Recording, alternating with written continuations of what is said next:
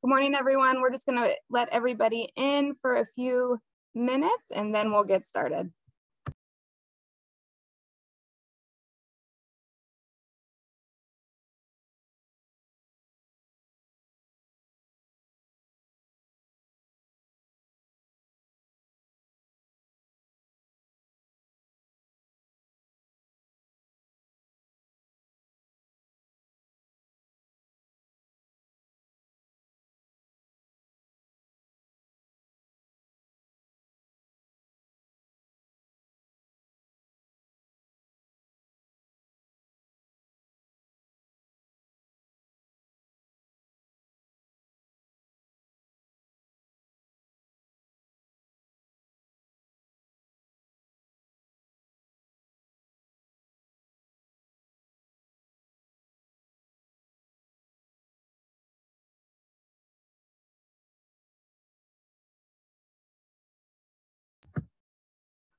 All right, folks, I'm going to launch a quick poll here. Um, and this is just a couple questions. We'd love to know whether you've attended one of these trainings before and who you're representing. So I'm going to launch that. It'll be up for a couple minutes. If you can go ahead and fill that out.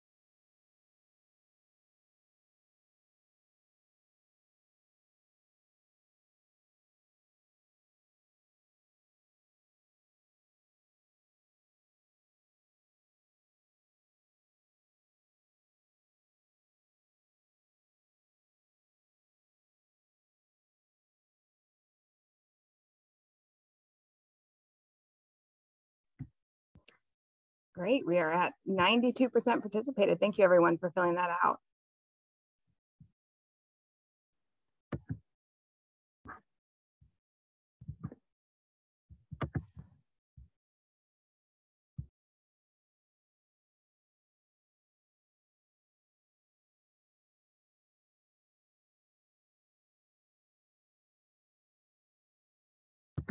All right, and I think we're going to get started with Sarah Haggerty.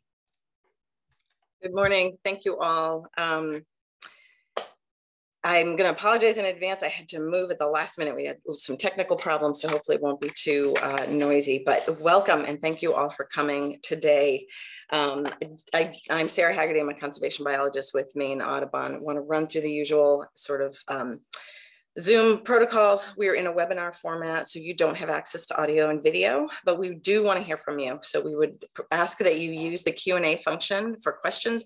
You can put them in there throughout the talk, the talks going on today. Um, we will have special sections for questions. We will keep an eye on what's coming in. If you have technical issues, um, please use the chat. I have Hannah Young, who just you just saw um, as my tech guru today. Um, we will send around evaluation forms after the webinar today and we'll uh, include a link to additional materials afterwards. You don't need to worry about any of that. Just sit back and enjoy. Um, there will be a break around 10, sort of halfway through for about 10 minutes. And um, we will run today from 8.30 to 12.30. So I'm going to get started.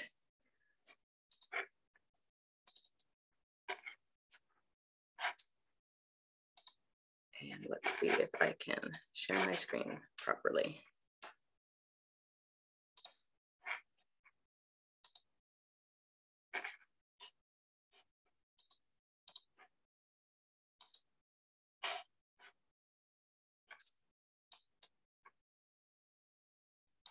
Am I in slideshow now? Yeah. Awesome, thank you. So as I mentioned, I'm with um, Maine Audubon. We are the coordinator for the Stream Smart program. And if you're not familiar with us, we are a nonprofit conservation organization. And our mission is to conserve Maine's wildlife and wildlife habitats by engaging with the public of all ages through outreach, education, and action. And today we're going to be talking about road stream crossings and the Stream Smart program, which is a program that was that was developed based on the U.S. Forest Service Stream Simulation Design Program. We've tried to distill it down to a number of principles. And while we're the coordinator for the program, we are not the whole program. And I want to um, thank all of the partners who are here today. Um, we have some individuals, and I want to thank the individual individuals and the organizations who are working with us today to put on the workshop, but also all of the groups that work behind the scenes to make Stream Smart happen um, year round and all over the state. I want to run through a quick agenda for the day. We're going to start with a conversation on the ecological value of free-flowing streams and stream smart crossings. And then we're going to go into a in-depth session on, I shouldn't say in-depth, a, a, a um, varied session on legal requirements. I have six different regulators here, and um, you're going to hear from all of them. It's really an introduction to the regulations that might apply to your situation. We're going to take a break at about 10 for about 10 minutes, and then we will have a video of the stream table. If you have been to a Stream Smart workshop before, you may have seen this in person. We've adapted it for, uh, for COVID and for this online venue. Um, and then we will have a place for, for questions at the end of that video. And then we're really gonna dive into the technical aspects of how we build Stream Smart crossings. We're gonna wrap up at the end talking about money and costs and some financial opportunities to help you defray the costs of Stream Smart Crossings. And then we have a good chunk of time, a good half hour, maybe more, depending on how um, the rest of the day goes for questions and answers and discussion. And all of our presenters are gonna stick around for the end. Um, so again, there will be places for questions throughout the morning, but then at the end we will have a lot of a lot more time for questions and discussions. So now I am going to turn this over to Nick Collis, who is an assistant regional fisheries biologist with the Department of Inland Fisheries and Wildlife. And I'm going to stop sharing and I'm going to let Nick share from his screen.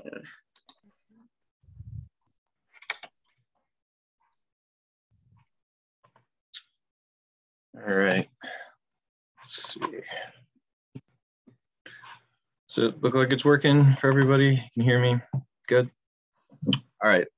Well, I'm just gonna dive in then. Let me know if there's any weird technical difficulties that pop up. That seems inevitable in these types of situations. But yeah, um, I'm glad to be here today. I'm glad everyone else is here too. And I think this is a really important topic, um, stream smart crossings. It's something that as a fisheries biologist, I actually do deal with quite a bit. Um, we're lucky enough to be able to comment on a lot of different development and environmental review type projects um, around the state. And many of them come down to you know, what's the quality of this crossing over a specific stream. Um, so it really is something that I think can have tremendous value um, and can really make a difference uh, out in the environment. So um, I am going to just repeat this a few times, I think, throughout the talk, which is just that stream smart crossings um, primarily exist to maintain fish and wildlife habitat while simultaneously protecting roads and public safety. Um, but a good place to start is kind of what not to do and what we're trying to avoid. And also, it's always pretty instructive to have pictures of these catastrophic failures. Um, so for instance, this top picture here was actually just taken last year down east, I think Winter Harbor. Um, you know, fairly good sized road, completely washed out. And the bottom picture uh, was up in northern Somerset County a few years ago. Slightly smaller road, but you know, obviously not immune to the same catastrophic failure that we're seeing here. And, and it probably goes without saying that these types of failures are bad for fish, bad for wildlife, bad for budgets, and certainly bad for public safety. But um, it's not all doom and gloom. There's a lot of benefits that we could talk about too, specifically with free flowing streams, which is what a stream smart crossing aims to provide. Um, I'll start kind of just with the human dimensions of that kind of thing. So, you know, as a fisheries biologist, angling is pretty important to what I do. Uh, there's almost a quarter of a million anglers in the state of Maine, which if you think about the amount of Maine residents, uh, there's that's a pretty healthy chunk of people that get out and fish annually. Um, we also sell upwards of 80,000 non-resident fishing licenses every single year. Um, so it, it really is an incredibly popular outdoor sport, apparently second only to running in the country. It's, it's easy to get into. Um, there's a pretty low barrier to entry, but one thing that you often do require is a good place to fish, like a free flowing stream. Luckily, Maine does have world-class fisheries. Um, a lot of people point to our brook trout fisheries in particular. Um, there's a little blurb there about heritage brook trout waters. All that means is it's a, usually a pond that has not been stocked either ever or at least not in the last 25 years and has self-sustaining um, wild populations of brook trout. And, and that's a, you know, I'll get into that a little bit more, but it's, it's a really uh, important resource that's really not found anywhere else in the country. Um, to throw a few other numbers at you, you know, the, the benefits that angling and free flowing streams provide to the state um, totaled nearly $100 million annually in wages and salaries, 200 million in retail sales, and over 20 million in tax revenues, not to mention over 3,000 jobs, including mine. So I'm very thankful for that.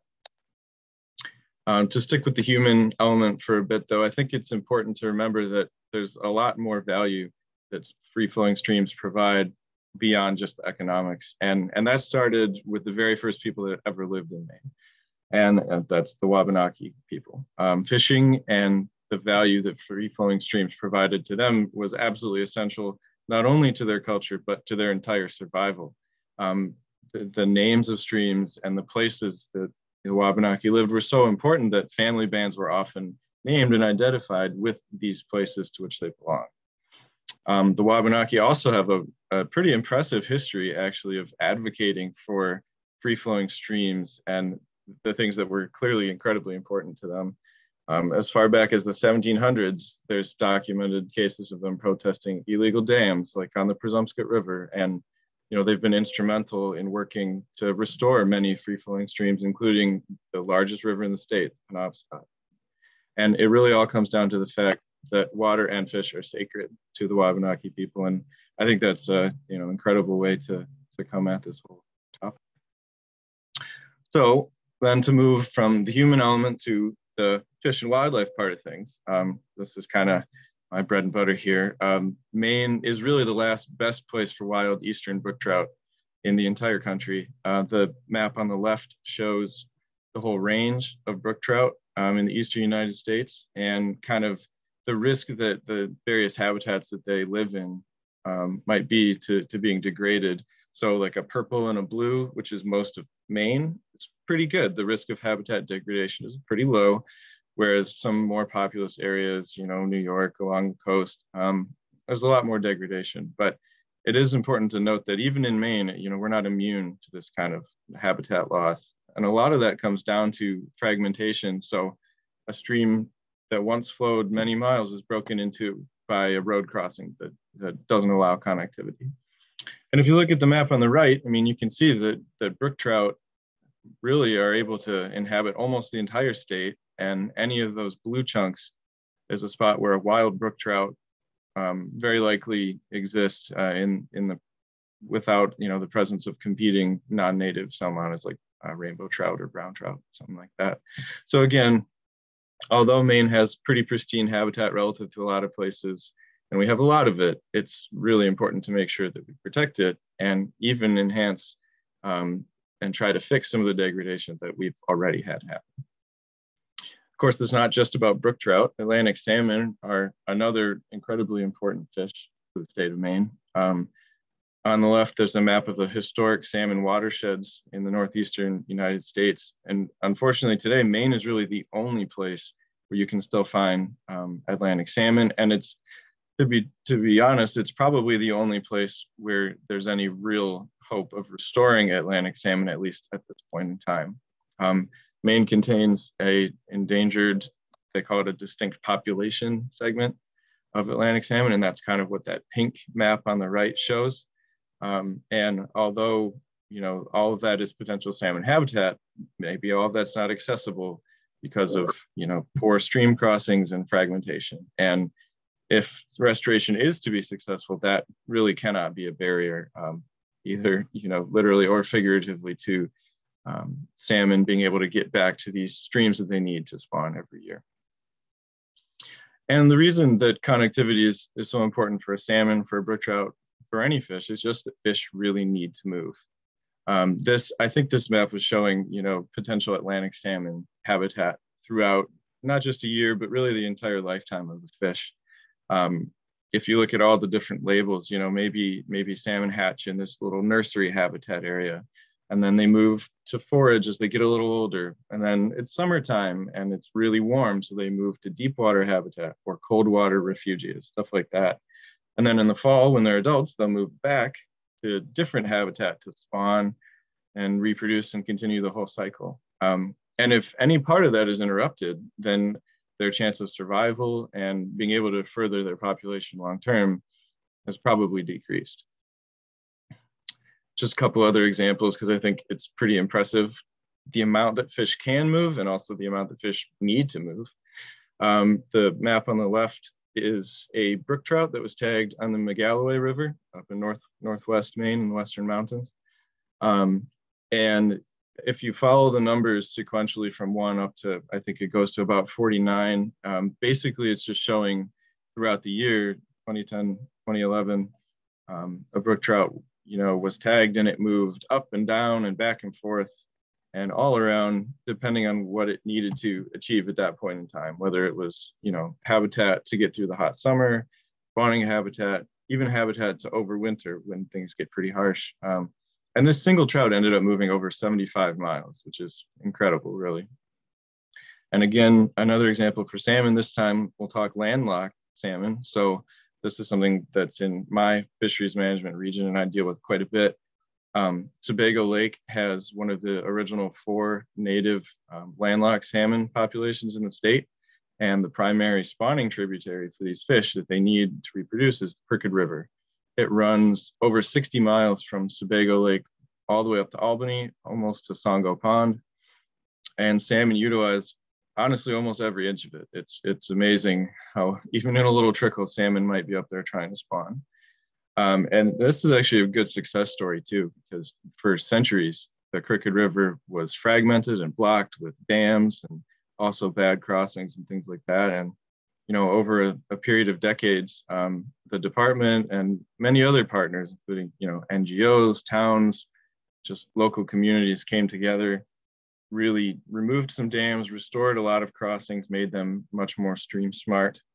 And um, now salmon are able to access that almost that entire river to the point that they they are, are basically able to sustain the entire fishery in the second largest lake in the state um, with wild reproduction. So it used to be you had to stock salmon to get them to survive. Now about 75 um, to 80% of the fish in that lake are wild, which is which is great. It's really kind of like I said, a success type story, but it's dependent on their ability to move.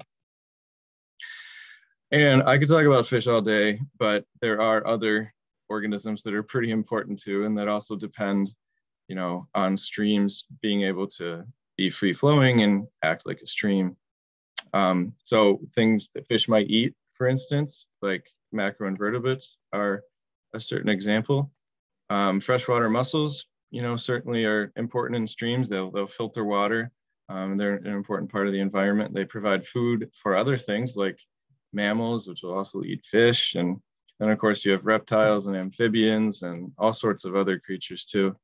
Um, so really, you know, streams and the free flowing aspect of streams is, is important to maintaining all of these different, you know, classes of organisms, not to mention streams and properly designed crossings provide corridors for a lot of these species to move. So unfortunately, we have a, a picture of a turtle that had to cross a road, likely because there wasn't a crossing on whatever water body it, it was living in. So kind of had to go up, cross the road. And as we all know, turtles don't necessarily do very well on a road type environment. So, you know, allowing them to, to move in a safer way and not just turtles, but everything is, is also an important aspect of stream smart crossings. Oops. There we go. Um, because I mean, in a, in a nutshell, I guess I would say regulation is, is a big part of what a stream does. You know, it, regulates the movement of fish and wildlife, but it also regulates the flow of water. Um, it, it streams are really important for attenuating floods and, you know, controlling, you know, when there's a big storm event, um, things like that. Uh, streams also maintain water temperature. They, they, you know, keep the water at a range that a lot of the fish and wildlife are adapted to survive at. Um, and I, I think it's pretty instructive too. If I'm sure many of you can imagine, you know, going for a hike on a hot day, you're in the woods, and then suddenly you get to a stream and the temperature just drops. You know, you can just feel the cooler water and, and the temperature that a free flowing stream is able to maintain. Um, and then of course, streams further provide a little regulation for the environment um, through movement of organisms and materials. So we're talking nutrients, you know, woody debris, and then of course the fish and wildlife that live in and around a stream. So all of these are kind of important aspects that, you know, again, stream smart crossings and a free flowing stream help provide. Um, it's probably also important to remember that, you know, uh, some of these examples like the Crooked River, it's a pretty, pretty big river and, and certainly there are many other larger ones in the state, but small streams are incredibly vital to this whole process too um, and, and certainly just certainly just as worthy of having a stream smart crossing. Um, smaller streams often have higher densities of some of these fish that we've talked about, like brook trout and salmon, particularly at certain times of year. Um, small streams are often key spawning habitat for these species, so they might have a lot more sort of juvenile fish or, or you know, even eggs overwintering in some of these places.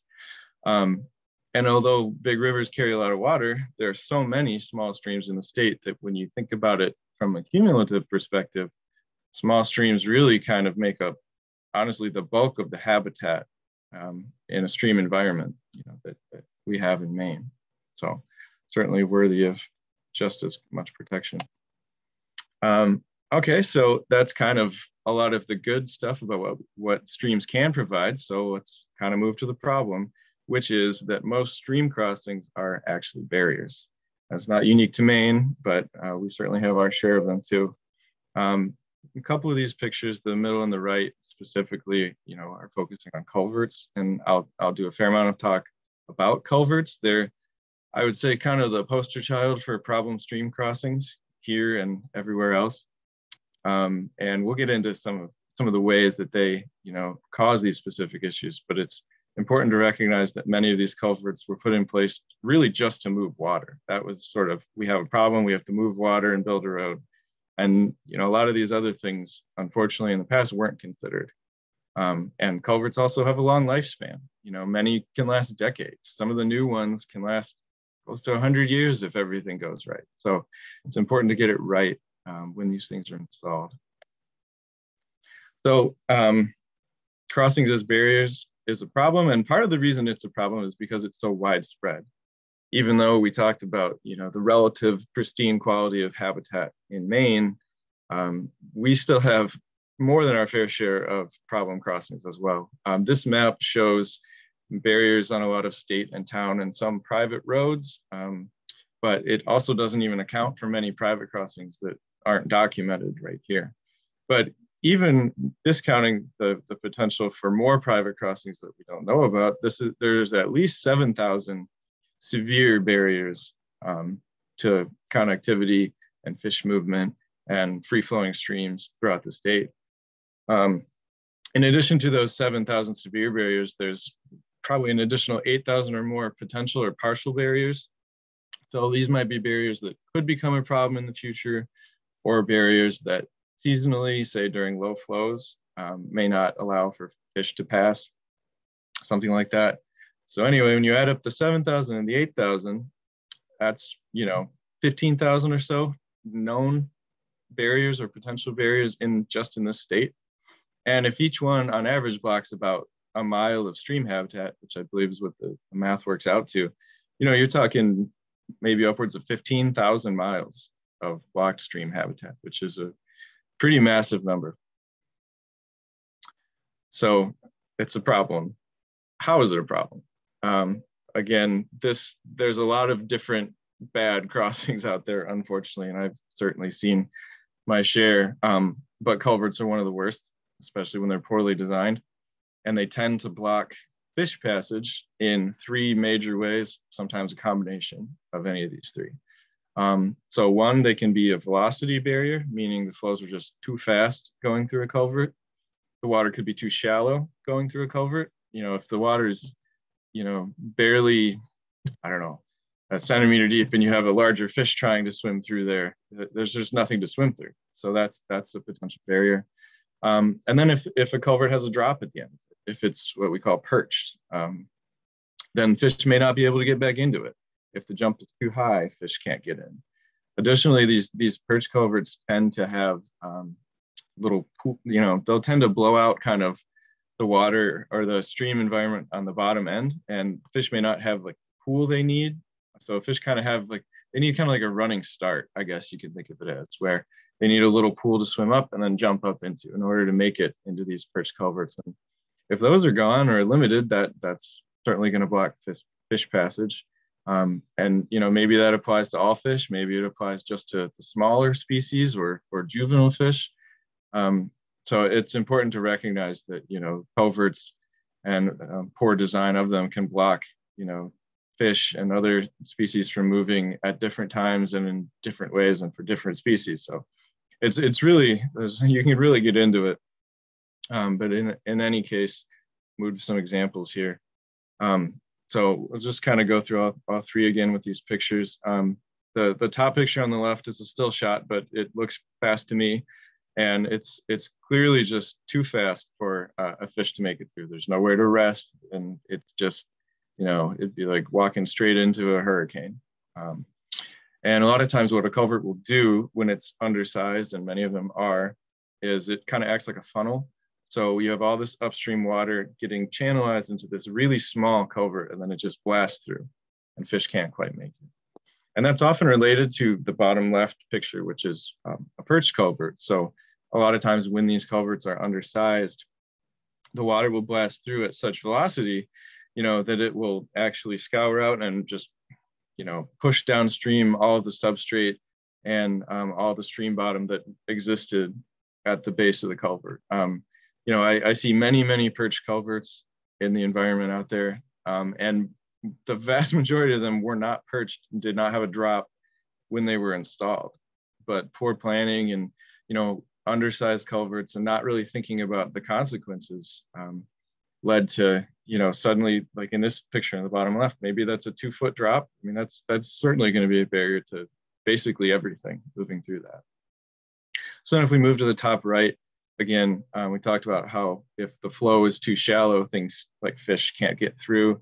Um, that culvert, you know, it, it it's certainly bigger than some of these small pipes, but it's flat and it's wide and it doesn't create um, any sort of channel that a fish might be able to utilize. You just have this sort of really shallow, a lot of times they'll call it sheet flow.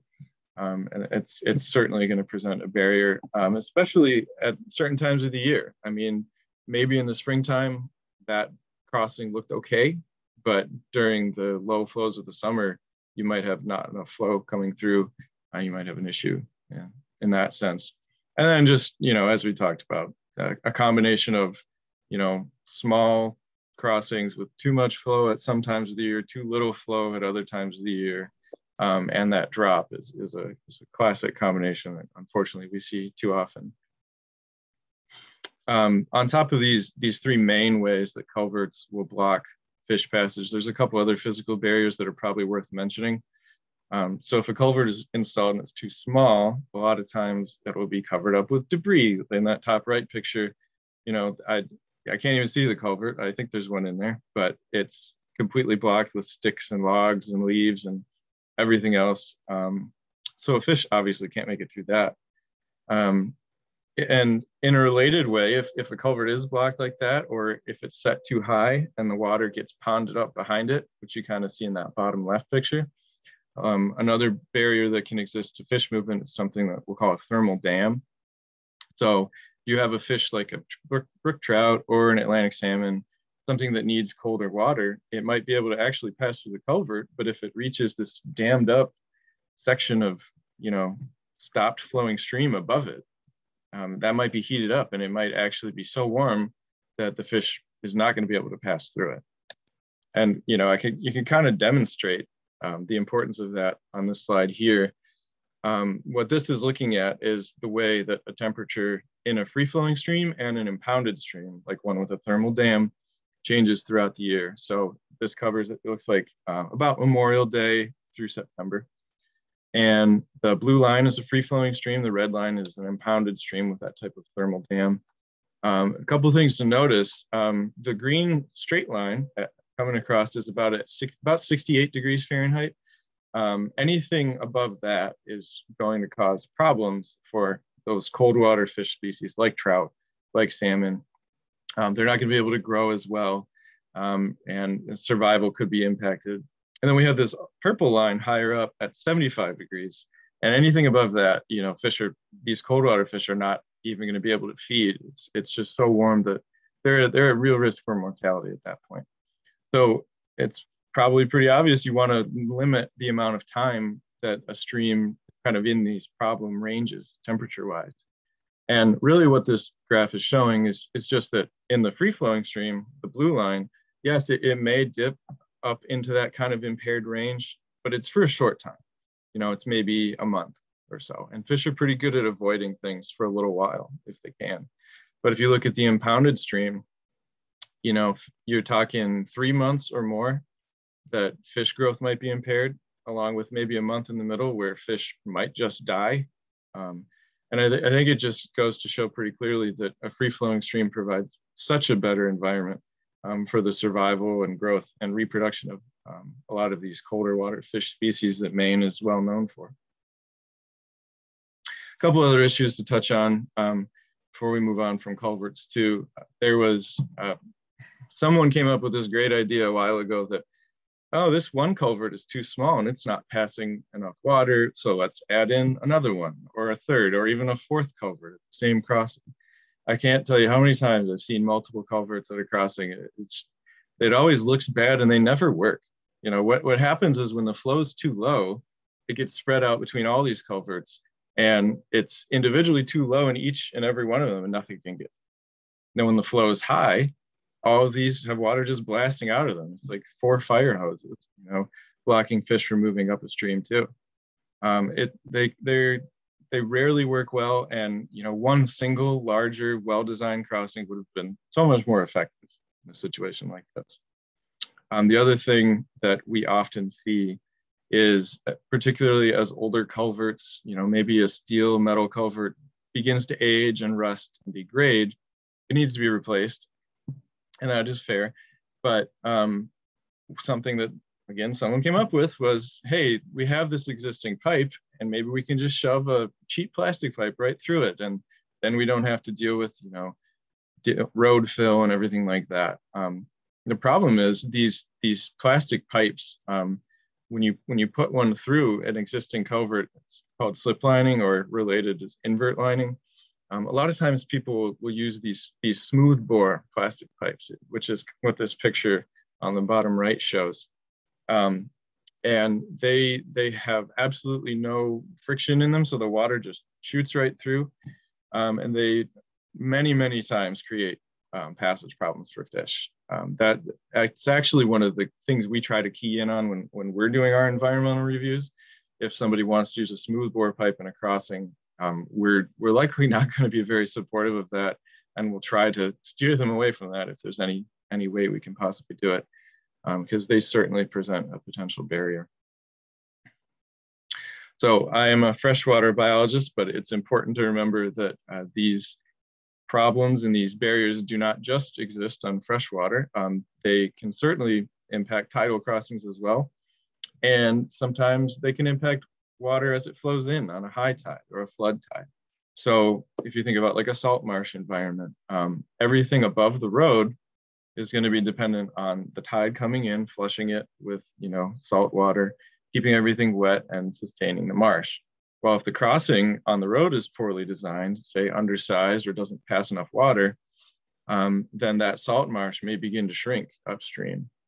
And salt marshes are home to a variety of really unique species um, that are important to conserve. But even beyond that, as the marsh shrinks, it, it tends to present an opportunity for invasive species to show up. Um, a common reed is, is a big one that you see everywhere um, that takes advantage of these changing marsh environments.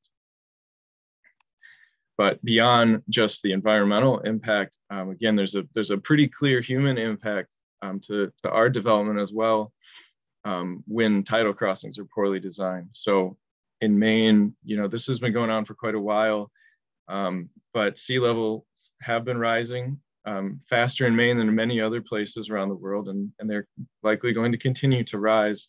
So if a tidal crossing is not designed well enough to pass this increased flow of expected water, you know, you can see things like this situation on the right, where, where tidal roads are flooded and homes, you know, can be destroyed and everything like that. It's, it's pretty important stuff. Um, I'll also just put in a quick plug here. Um, if you think about stream smart crossing specifically on like a tidal road situation, that's that might be um, something that's covered under a new program coming soon called Coastwise. So um, it's really just you know making sure that tidal road crossings are able to you know function in a stream smart way, pass fish, wildlife, and also the necessary quantities of water. So just keep an eye out for that one. Little little plug there. Um, but you know, along with sea level rise, you know, we'll, we'll talk about some of the other impacts that climate change can have to road infrastructure. Um, you have water coming up from the sea level rise part of things, but you also have more water coming down the streams as bigger storms are likely to become more frequent and more severe. Um, there was one study, this is looking specifically at Maine, actually. In the future, Maine is likely to have a 74% increase in the frequency of these really extreme storm events, um, as well as a concurrent 23% increase in the size of these storms. So inevitably, there's just a lot more water and a lot more stress um, coming down, you know, and having to make it through all these crossings. And when they're not designed well, can have this happen. This was a uh, stream crossing in Freeport. This was in 2008, I think and it's it's not good.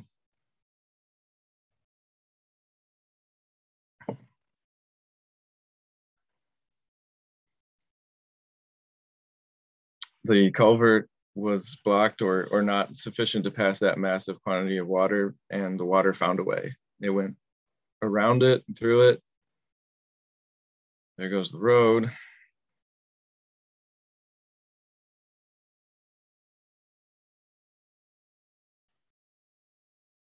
And then at the end there, that's the culvert itself rearing up and being washed downstream, thrown away, ending up who knows where. Um, the aftermath. And you can only imagine the amount of sediment and debris that was washed down in a, you're talking about a failure like that. Um, that's a pretty extreme situation. Um, and obviously it's bad for, for any budget, but it can also occur on a smaller scale um, this is just another example of how road failure um, can have a pretty strong economic impact. Um, this was actually in Acadia, um, which we, you know, most of us think of as one of the, the best environments in Maine, you know, one of the most preserved, certainly. Um, there was an undersized culvert on a road crossing and the there was a big storm. The water, just like in the Freeport situation, went around it, went kind of through it and um, washed out the road downstream. Um, and the cost to replace the road was something north of $20,000 at that time. I'm sure it'd be even more today. The kicker here is that despite all of that effort that went into it, the undersized culvert is actually still there. It didn't wash out like the Freeport crossing did.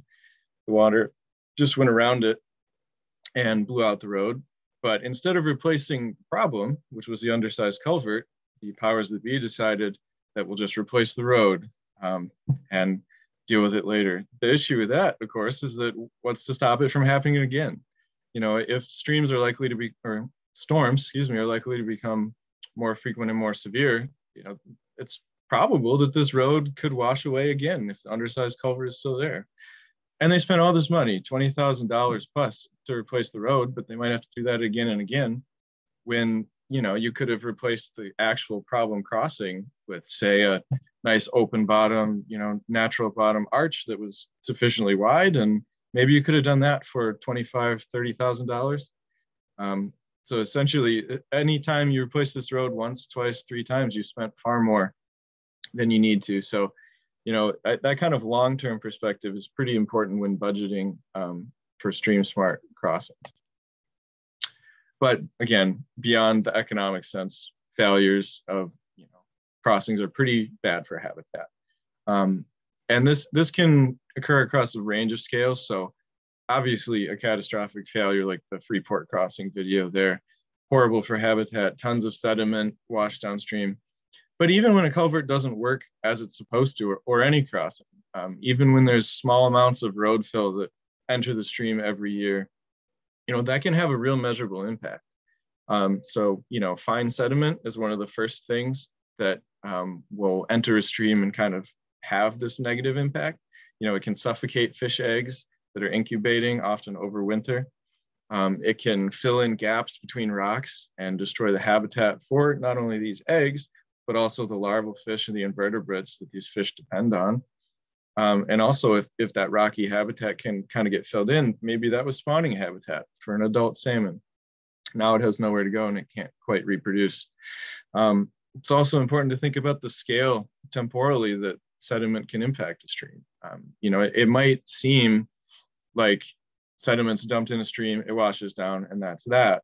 But in reality, it can last quite a long time and, and have real measurable impacts, negative impacts on a stream for potentially a decade or more. I know there was there was one study um, looking at how long it took sediment to move down a stream, just just the distance of one mile, which is really not that far. And I think on average it took seven to ten years. So I'm sure there are situations where it could take longer than that. And if a stream is impacted for seven to 10 years, every time sediment enters it, I mean, that that's pretty bad for habitat and everything that depends on it. So that's a lot of the bad. So let's move to some of the good. Luckily, there are solutions, and that's why we're all here, which is Stream Smart Crossing, which again are there primarily to maintain fish and wildlife habitat while protecting roads and public safety. And um, they also, again, crossing like this would be able to pass kind of those higher flows that we might expect um, in the future from storms and floods and everything like that. Um, and I'll go into a few examples of not only what failure looks like, but what a solution looks like um, as well that would correspond to that failure. So this was the Machias River 2010. Um, there was a very large storm. I think I think flows down the river ended up 20 times higher than normal, pretty massive. And it took this 12 foot uh, diameter culvert, just ripped it out, tossed it downstream. You know, it's you can see it's twisted, and the power of water is pretty astonishing. But nearby, there was a recently in, installed crossing um, just before the storm, um, following these stream smart principles, and it did just fine. I mean, it, it's passing a massive amount of water, but it survived. It was stable, and it didn't ruin, you know, that that uh, stretch of the stream for a long time afterward. It, it really did a great job. Um, I'm sure many of you remember Hurricane Irene, and this was about I think 2011, um, and some of the the impacts that it had. Um, if, if, you look, say, in in Vermont, um, over a thousand culverts and bridges were damaged or destroyed, and over 700 million dollars in damage was caused. Um, the one place that these culverts were not as impacted was in the Green Mountain National Forest, where a lot of culverts were recently resized, again, following these stream smart principles, um, a little bit before the hurricane came through. And actually, not a single culvert in the National Forest was lost over there versus a thousand throughout the rest of the state. So I think that's pretty impressive and a testament to the quality that a well-designed crossing can bring. Um, another aspect of Stream Smart Solutions is realizing that they can occur across multiple scales of roads too. So, you know, this this would be a, a larger example. This is a state highway. Um, I think I think these before pictures and the pictures of during Hurricane Irene were up in the Carrabassett Valley here in Maine. And uh, this was a, a DOT road, a state highway. There were a couple culverts that completely washed out in the bottom left there and they were both replaced um, with a really nice, well-designed bridge span, uh, much more likely to, to sustain itself through large storm events, not just tropical type storms like hurricanes, but you know, just the larger storms um, that, that we're more likely to see on a more regular basis going forward. So it's sort of a larger scale um, example, but you know, you can also look at a town road. So we deal with a lot of towns um, that are looking to replace crossings and you know towns in particular may not have um, the budget that somebody like DOT has and so they, it's especially important to design a culvert in, in the right way you know or a crossing in the right way so that it doesn't have to be replaced or you know you don't have to deal with that ca catastrophic damage so this is just a town road example of a undersized culvert replaced with a nice open bottom arch with a natural substrate through it. It's really, really good looking environment. That's kind of the medium scale, I guess I would say. And then you can even think about like small scale stream smart solution. So this is just a private forest road. Um, again, small, very undersized culvert um, replaced with really nice uh, quality bridge span. Um, you know, maybe this road exists to, to allow more recreation um, into a private forest or logging, something like that. And it's probably just a dirt road. Um, the other thing I'll point out is, you know, I, I enjoy fishing, angling myself in, in a lot of these forest environments. And I think it's it's worth noting just the aesthetics of the bridge and how much better that looks than that little culvert and how much more likely I would be to try to catch a fish there, you know. So just point that out as well. Um, but you know, in the end, these are some of the ways that a solution is stream smart and there, there are many of them, um, but a few of the key ones, you know, they just enable passage of fish and other organisms when they need to move. So the stream is allowed to sort of function as a stream and everything in it, fish, wildlife, sediment, woody debris, all of that is allowed to move when it needs to. You know, we can't control when we get storms or when fish need to access certain, you know, things to survive, to get through certain times of year. Um, but by maintaining the natural channel flow, we can allow that to happen on its own time and on its own scale. Um, I'll also point out that from a budgetary and uh, monetary standpoint, uh, stream smart solutions are certainly smart um, in terms of, you know, you avoid that, that potential for catastrophic failure. And uh, they also are a lot easier um, to, to do from a permitting standpoint. Um, you know, every time I see a stream smart crossing, on my desk when I'm doing an environmental review, it's like, great, I don't have to work too hard on this one. You know, I can prove it. Whereas otherwise, you know, you might have to redesign the whole thing. So, you know, that, that's that's another way that these solutions are in fact stream smart. And I think just to wrap it up, again, I'll hammer it home. Stream smart crossings maintain fish and wildlife habitat while protecting roads and public safety. A stream can act like a stream um, they can it, it does what it needs to do at all flows and is durable for the long haul. So, you know, all in all, a good idea and um, really good solutions to many of the problems that you know we see in the natural environment. So, that's it for me.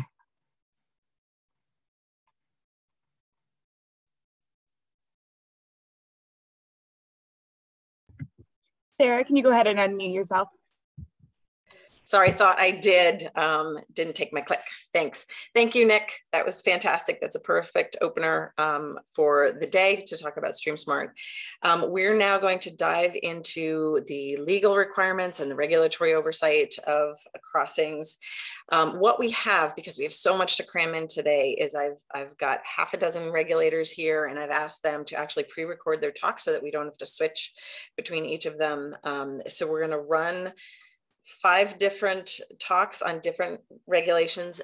There, we are not intending you to get every piece of information that you will need to deal with the regulatory oversight for a crossing, and some of them may not apply. We wanted to just provide you with an opportunity to actually see who those these um, regulating agencies are, hear a little bit about the the regulations and where they you might intersect with them um, and give you contact information. All of these folks are partners with StreamSmart. They want to help you do a StreamSmart crossing. So please reach out to them. They're all wonderful people who are willing to help you. So we're going to actually run through this video. All of the um, agencies are represented here. So there are questions that, uh, it, so if you have questions, we will um, have those at the end. Um, and I do have one live talk and that's Tom Gilbert with the Forest Service. Um, the agencies represented are um, actually, I'll, I'll, introduce the folks who are with us. We have Anna Smith, who's an environmental specialist too with Maine DEP, Department of Environmental Protection. We've got Tim Carr, who's a senior planner with Maine Land Use Planning Commission. Colin Greenan, who's a project manager with the Army Corps of Engineers. Wendy Mahaney is an endangered species biologist with the U.S. Fish and Wildlife Service.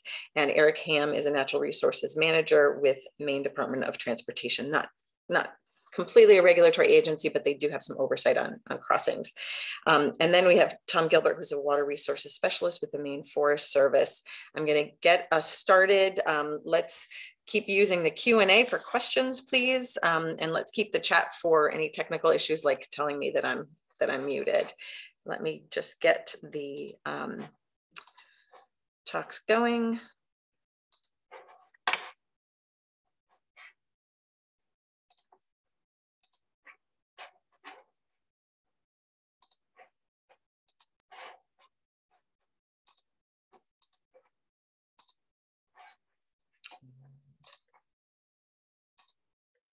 Hello, I am Lucian Langlois with the Maine DEP in the Bureau of Land Resources.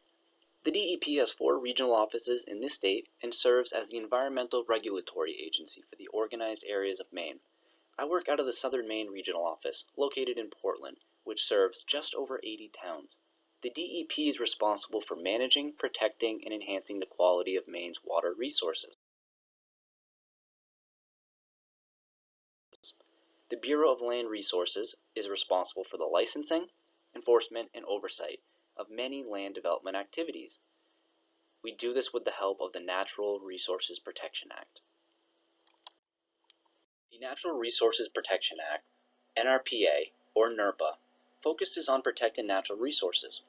Protected natural resources include coastal water resources, freshwater wetlands, rivers, streams, brooks, lakes, and certain wildlife habitats. For the purposes of the NRPA, river streams and brooks are interchangeable terms with the same meaning.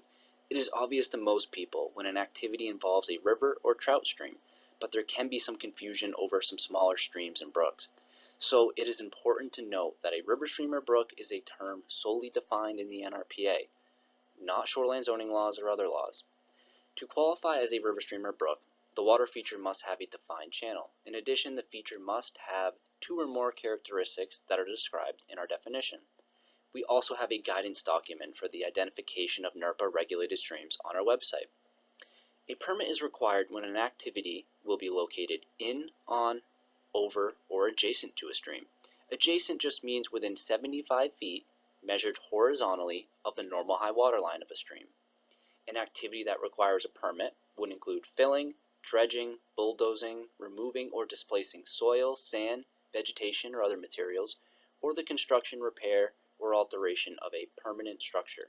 Most stream crossing projects will involve earthwork, such as filling activities, and construction of a permanent structure, all located in, on, over, and adjacent to a stream. Therefore, this results in the requirement of an NRPA permit. So how do we permit a new stream crossing? Permit by rule, or PBR, can be used for certain classes of activities, PBR is our easiest and fastest permit available. It's a streamlined process, so there's a short 14-day review period, and it's really just a notification to the DEP. You're telling us that you intend to comply with a set of standards. The standards for acceptable projects are listed in Chapter 305 of the NRPA. Chapter 305 contains around 20 different sections, with each section related to a particular activity.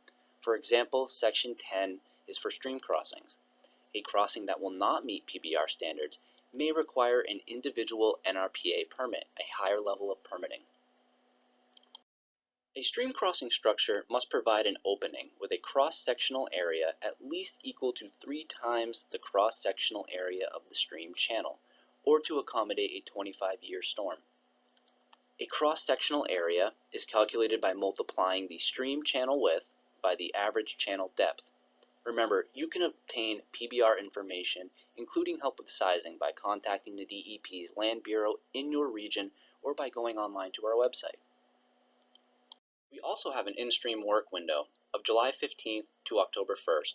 This is the ideal time to work within a stream, as it minimizes the work's effect on fish and wildlife species, especially during critical life history stages and spawning migrations. Remember, temporary erosion control devices must always be installed on a project site prior to construction and maintained throughout the project's duration. Depending on the stream conditions, certain techniques can include cofferdams, pumping, and water diversion.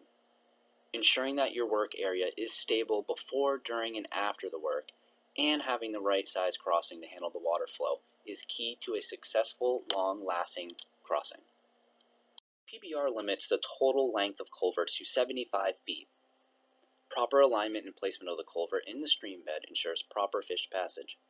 This means setting below the stream bed elevation. Stabilized banks and proper compaction will ensure the crossing will last for many years. An added benefit of proper installation techniques is a reduction in maintenance costs during the lifetime of the culvert. A permit is not required from the DEP to replace a existing stream crossing, provided that erosion control measures are taken to prevent the sedimentation of the water, crossings cannot block fish passage, crossings must be designed, installed, and maintained to match natural stream grade to avoid perching and drops. Crossings that are not open bottom must be embedded a minimum of 1 foot or at least 25% of the culvert's diameter, but not to exceed 2 feet. Thank you for listening. If you have any questions on the presentation or would like more information, please contact your nearest regional DEP office. Please see the contacts listed on the slide or go to our website www.maine.gov slash DEP slash land. Again, thank you for listening and for your dedication to protecting Maine's rivers, streams, and brooks. This is Tim Carr, planner with the Land Use Planning Commission based in the Commission's Augusta office. In this video, I'll briefly discuss the Land Use Planning Commission, or LUPC, the LUPC's policy goals for our water crossing standards, what those standards are, when permits are and are not required, and how to obtain additional information and assistance from Commission staff. The LUPC serves as the planning and zoning authority for the unorganized and deorganized areas of the state which include townships and most plantations. In addition, a few towns contract for our services. These areas either have no local government or have chosen not to administer land use controls at the local level. Prior to the creation of the LUPC in 2012, the Land Use Regulation Commission, LURC, had regulatory authority within the unorganized and deorganized areas. Our service area is shown in the shaded portions of the map, each of the colors representing one of our five regions, each with its own regional office indicated by a red star. Basic information about the extent of the unorganized territories is also shown. The LUPC stream crossing standards are found in Chapter 10 of our rules, Section 1027D. These standards were updated in 2019 to better incorporate stream smart principles and to better align with DEP regulations. It's important to note two things. First, the discussion that follows involves LUPC standards for permanent crossings. Standards for temporary crossings, those in place 180 days or less, are different. Second, in the LUPC service area, most land management roads and their associated water crossings are regulated by the Maine Forest Service rather than by the LUPC. The exceptions are land management roads that pass through LUPC development subdistricts or through development areas within resource protection plan subdistricts. Water crossings on these roads will need to meet LUPC standards for either temporary or permanent crossings, depending on their duration and place. Our permanent stream crossing rules have a number of goals listed here, and generally encompassing maintaining stream and water quality maintaining habitat connectivity, and designing for larger and more frequent flood events. To help achieve these goals, the LUPC has general work standards for all water crossings. These include standards designed to minimize stream impact, such as a low flow work window, requirement to minimize in-stream work, and requirements for water diversion and sediment control barriers in certain situations. These goals are further achieved through requirements for the type of water crossing that can be used in certain situations and requirements for the sizing of crossings. If a stream to be crossed is a perennial watercourse and has a sustained slope of more than 2%, or if the watercourse is used for navigation, a bridge or open bottom arch must be used to maintain the natural stream bed. Otherwise, culverts may be used. Water crossings must be sized for the 25-year flood or have sizing based on three times the cross-sectional area of the stream. In addition, they must also be at least 1.2 times channel width at normal high water. However, water crossings located in areas of special flood hazard must be sized to accommodate a 100-year flood event in addition to being at least 1.2 times channel width at normal high water. If a watercourse is used for navigation, there must be at least four feet of clearance available for boat passage during a normal high water period. Standards for installation and maintenance also help to achieve policy goals for water crossings. The LUPC has requirements for culvert installation shown here. Please note that culverts must be installed below streambed elevation according to the following limits. Greater than two feet below streambed elevation for box culverts and other culverts with smooth internal walls. Greater than one foot below for corrugated pipe arches and greater than one foot below and encompassing at least 25% of the culvert diameter for corrugated round pipe culverts. Also note that while streambed substrate must be added to culverts greater than 60 inches in diameter, bed development through natural deposition is allowed for smaller diameter culverts. LUPC rules also require that water crossings be maintained to continue to meet standards and facilitate the passage of fish and wildlife. Culverts that develop hanging inlets or outlets, experience bed washout, or do not match the characteristics of the natural stream channel must be repaired. In certain circumstances, installation of a water crossing requires a permit. Water crossings not in conformance with the previously described standards may be allowed by permit from the Commission. To obtain a permit, however, an applicant must show that a non-conforming water crossing will produce no undue adverse impact upon the resources and uses in the area. Crossings of major waters also require a permit. A major water is defined as a flowing water downstream from the point where such water drains 50 square miles or more. Crossings in certain LUPC protection zones also require permits. These include the aquifer protection, flood-prone area protection, mountain area protection, soil and geology protection, and unusual area protection subdistricts. Otherwise, no permit is needed for crossings of minor flowing waters in other subdistricts if the standards described previously are met. However, written notification of the installation must be sent to both the LUPC and the Army Corps of Engineers before work is begun. This last slide presents key sources of information and contact information. A link to our website is provided, as well as a link to contact information from our regional offices. We encourage anyone with questions about a specific project to contact the applicable regional office. General inquiries, however, may also be made through our main phone line to our Augusta office, noted here along with that office's address. Lastly, LUPC staff have created a brochure to help the public meet the sizing and installation standards for culverts. The brochure may be downloaded from our reports page, linked here, and covers topics such as identifying the normal high water mark and measuring stream width and depth. Once measurements of stream width and depth have been obtained, users can refer to sizing tables in the brochure to determine the diameter of culvert to use. Thanks for listening and for installing StreamSmart crossings.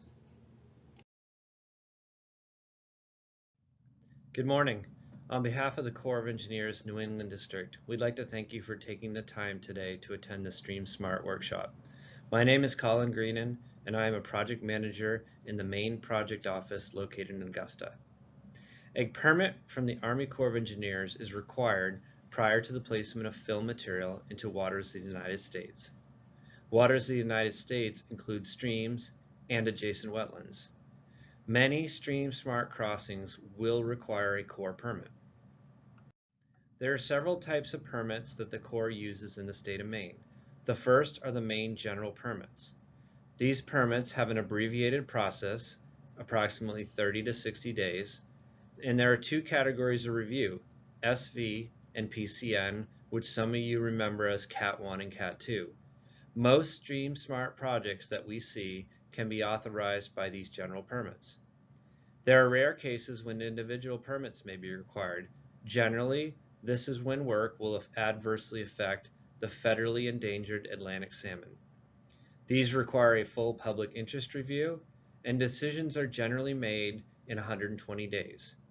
Please note that DEP, LUPC, and local permits are not a substitute for a Corps permit. There may be some cases where you need a Corps permit and a DEP permit, and possibly a local permit. Under the Maine general permit, the following requirements are required for SV. You cannot substantially disrupt species movement and high and low flows. You have to use stream smart crossing principles, including crossings with 1.2 bankfull width, crossings with a natural bottom substrate, Stream banks within those structures. Closed bottom culverts shall be embedded at least 25%, and in-stream work shall be conducted between July 15th and September 30th. Under SV, there can be no effect to Atlantic salmon or its designated critical habitat. Please note that slip and invert liners and culvert extensions, which are not stream smart, are not allowed under SV. Recognizing that the requirements of SV are not always able to be achieved, these projects can be reviewed under PCN, in which case the requirements are now recommendations. You still cannot substantially disrupt species movement in high and low flows. However, we strongly recommend StreamSmart to include structures with 1.2 bankfull width, structures with a natural bottom substrate, stream banks within these structures, Closed bottom culverts embedded 25%. We encourage the work to be done between July 15th and September 30th. However, there can be no adverse effects to Atlantic salmon or its critical habitat. After careful consideration, slip lines and culvert extensions may be permitted under PCN. In the rare case that an individual permit is required, and this is typically when there's an adverse effect to Atlantic salmon, an individual permit is required. The need for an individual permit is made on a case-by-case -case determination. We strongly encourage pre-application coordination to discuss the details of your project. We'll coordinate your application with our state and federal fisheries partners. There will be a strong emphasis on avoidance and minimization, and compensatory mitigation may be required for unavoidable impacts to waters of the United States. Our new programmatic approach with the U.S. Fish and Wildlife Service has greatly streamlined the general permit and individual permit processes for Atlantic salmon. If you need a Corps permit, here's the process. You'll need to fill out an application and provide the following materials, ideally 60 days before you need your permit. We will accept DEP and LUPC application forms. You'll need to provide the Corps de detailed and legible plans. You'll need to provide an official species list, notify MHPC and the five Indian tribes of Maine. You'll need to define purpose and need, discuss avoidance and minimization measures, and you must document all unavoidable impacts to waters of the United States. We generally correspond with our federal partners for agency review, which includes endangered species consultation. Lastly, the Corps will make its permit decision. If affirmative, construction may begin, in which case you'll need to be in compliance with your Corps permit. Please contact any one of our seven project managers in the state of Maine if you have any questions about your Stream Smart crossing. Thank you. Good morning. My name is Wendy Mahaney, and I'm a biologist with the U.S. Fish and Wildlife Services Maine Field Office located in East Orland, Maine. Today I'm going to give a very brief overview of the interaction between the Federal Endangered Species Act and stream crossing projects in certain areas of Maine. In the year 2000, the sea run, or anadromous Atlantic salmon, was listed as an endangered species under the Federal Endangered Species Act. This listed population is referred to as the Gulf of Maine Distinct Population Segment. The Gulf of Maine DPS is not listed at the state level and is a different strain or life form than Maine's landlocked Atlantic salmon. The pink area on this map shows the historic range of the Gulf of Maine DPS, which includes many rivers in the mid-coast region of Maine, the Down East region, and some of Maine's major watersheds, including the Penobscot, Kennebec, and Androscoggin rivers. The smaller area shown with cross-hatching is designated critical habitat for Atlantic salmon. Watersheds designated as critical habitat are places where endangered Atlantic salmon are most likely to occur in Maine today. Maine does still have a very small number of sea-run Atlantic salmon occurring in rivers outside of the area shown in pink, like the Saco River, but these salmon are not listed under the Federal Endangered Species Act. Some stream crossing projects, like replacing a culvert, may involve an action by one or more federal agencies. For example, a project may need a permit from the Corps of Engineers, or a project may be getting federal funding or technical assistance from an agency like the Federal Emergency Management Agency. For those projects with an intersection between endangered Atlantic salmon and a federal agency, the Fish and Wildlife Service will work with you and the federal agency through an ESA Section 7 consultation to assess the effects of the proposed project on salmon. For those projects not involving a federal agency, the ESA still provides some protections for endangered salmon.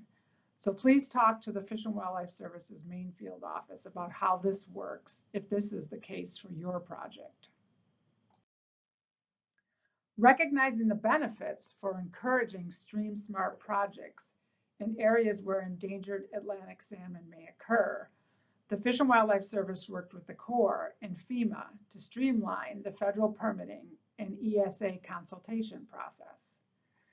This streamlined process was completed in September of 2017 and is based on Stream SMART principles, including don't pinch the stream, Set the crossing structure's elevation, slope, and alignment to match the stream and have a natural stream bottom inside the structure. This streamlined process focuses mostly on Atlantic salmon, but for some projects there may be other federally listed species to address, such as the Canada lynx. Perhaps most importantly, I want to emphasize that the streamlined process dramatically speeds up the federal approval process. Once you submit an application for a Corps permit or for federal funding using this streamlined process, the project will go through a technical review of the stream crossing design to ensure that it meets all of the program requirements, such as being at least 1.2 times bankfull width. After the project design is approved, the federal agency will then complete ESA consultation with the Fish and Wildlife Service with a maximum timeline of 14 to 30 days. Again, I want to emphasize that the streamlined consultation process is much faster than before, where consultation often could take several months to complete. In closing, if you have any questions about federal permitting and ESA consultation, including the streamline process, please feel free to reach out to me And if you have technical questions about designing stream smart crossing projects, please feel free to reach out to my colleagues, Bill Bennett or Scott Craig. Finally, thank you, and the Fish and Wildlife Service looks forward to working with you on stream smart projects in Maine. Thank you. Hello, my name is Eric Ham, and I'm the Division Manager of the Natural Resources Division in the Maine DOT Environmental Office. Yes, Maine DOT has an environmental office um, with folks from multiple disciplines, um, including uh, our some fish passage design experts um, and other folks that help gather resources um, and help um, get permits and authorizations to do stream crossing replacements around the state.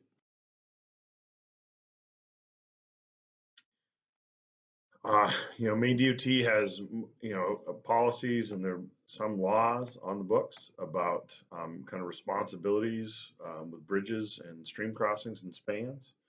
Um, some of this most folks will be familiar with, um, but you know, anything over a 10 foot span is considered a bridge. Um, and then we have some other, you know, criteria other than that. Um, you know, a minor span um, is a bridge that has a span between 10 and 20 feet. Um, and then a, an, a, true bridge is something that is over 20 foot in span. Um, now, all these, all these uh, crossings that are over 10 feet actually get inspected every two years as part of our inspection program. Um, so if you're working on upgrading um, one a crossing um, that might be getting over 10 feet, um, then there's some uh, kind of interaction, you know, with how Maine DOT's inspection program and, and some of these responsibilities may work. Um, there is a, a, relatively new fact sheet that's been circulated around that I have a link for later in the presentation that also explains this. Um, this little table was put together by our local road center, um, and I think it does a pretty good job kind of trying to explain responsibility um, of, of each of the structures and, and on what type of road they fall on. Obviously, structures on state highways are going to be responsibility of the state, um, unless it comes into some of those issues with um, urban compact areas um, and uh, and same with state aid roads. Um, as the townways, which would be the focus of a lot of folks here, um, you know, the uh, the minor spans um, still uh, live within the responsibility of the municipalities, as well as the culverts, and then the bridges themselves. Um, if they're kind of built to certain standards, um, DOT can end up um, maintaining the, the, the responsibility for maintenance and future capital work.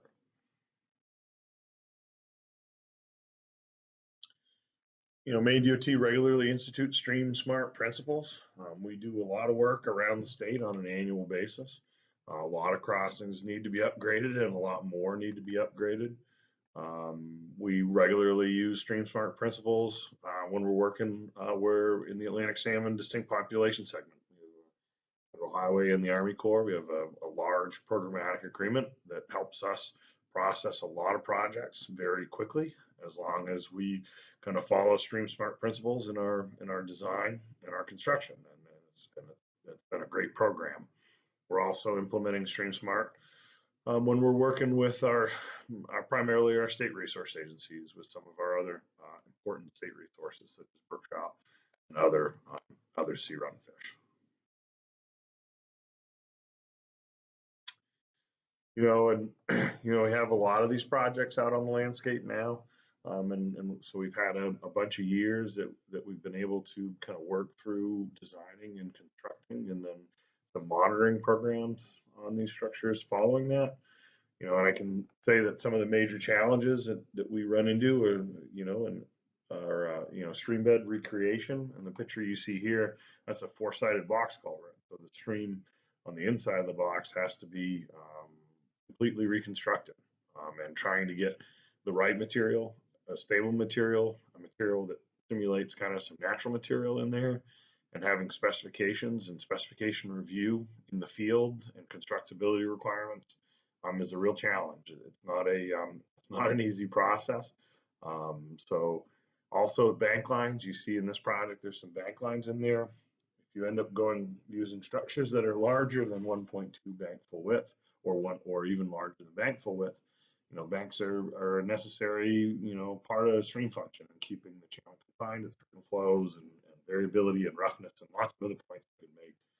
But constructing them inside of structures and hitting the right heights and keeping them stable um, also becomes a real challenge when it comes to.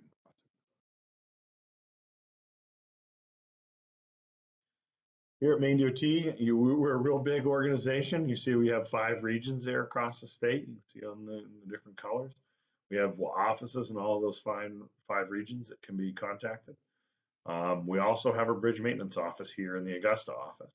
Um, and the bridge maintenance folks would be the first folks to contact if you're talking about uh, potentially constructing a bridge, especially anything that's bigger than 20 feet.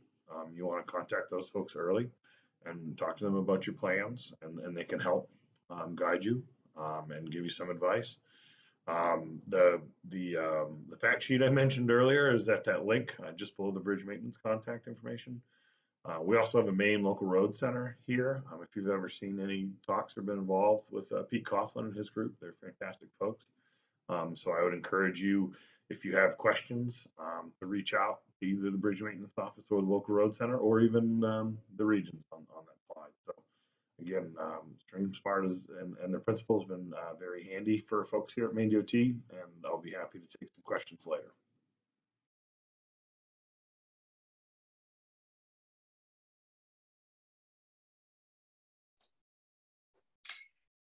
That's the first um, section. I do want to um, wrap up with one last regulatory talk. And so we have Tom Gilbert, who is a water resources specialist with the Maine Forest Service.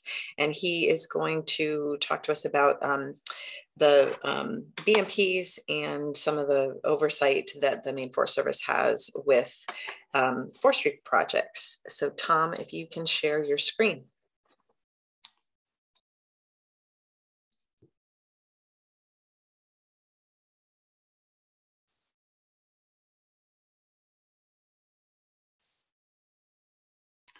Morning, everyone. Uh, my name is Tom Gilbert with the Maine Forest Service. Uh, this morning, I wanted to go over a couple of guidance documents we have uh, for permitting of stream crossings associated with timber harvesting activities. Uh, so you can find both of these guidance documents on our website at maineforestservice.gov. Uh, you can find them under, uh, oh, slides are not advancing. One second.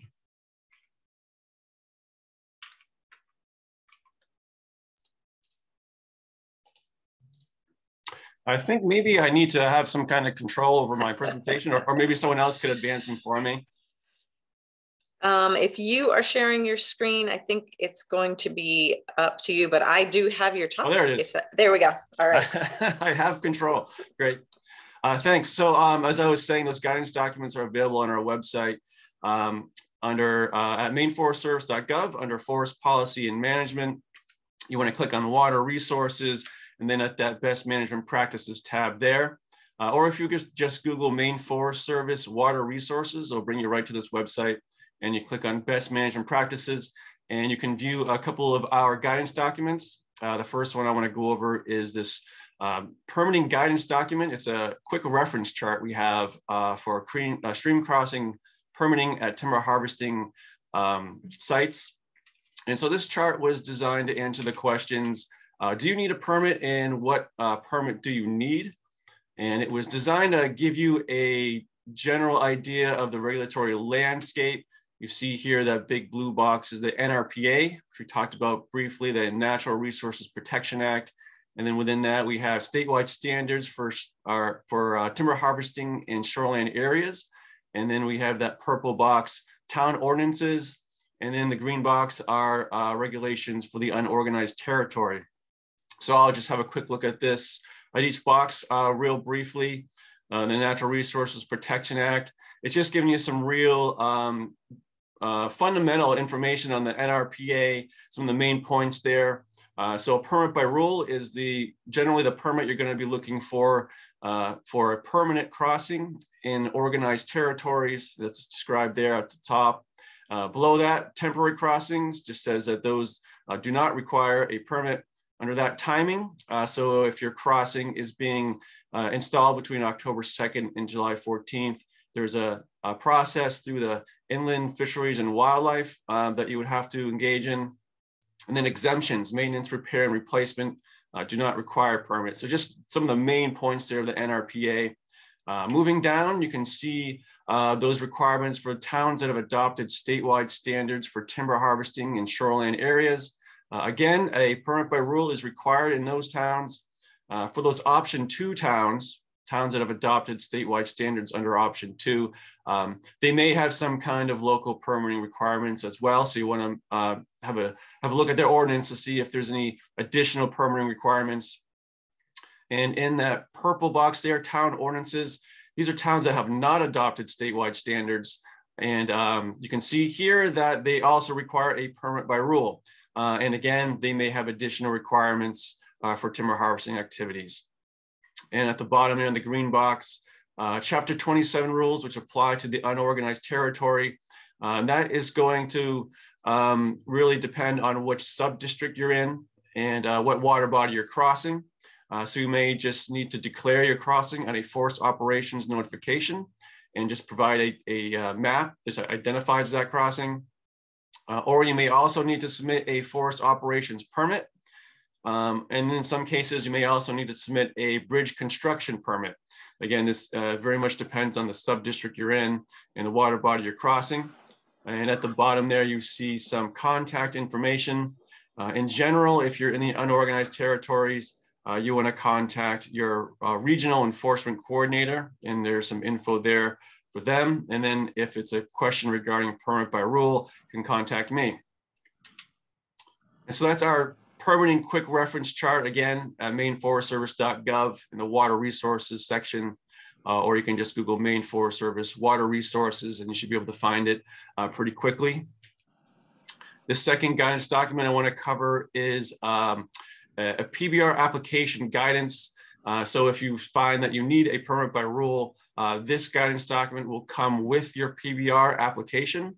And you'll just see that it's going to highlight a few of the uh, fields there in your application and just go into a little bit more detail as to what we're looking for in each one of those um, fields. And then on the reverse side, uh, there are installation standards. So um, a, a, summary of what we're looking for in a stream crossing.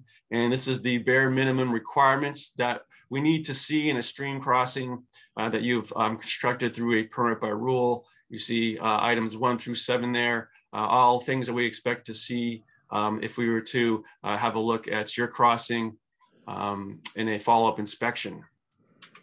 So those are the two guidance documents I wanted to cover quickly this morning. Again, maineforestservice.gov. Um, you can always contact me with any questions on that. And we're always available for uh, on-site assistance as well. Thank you very much.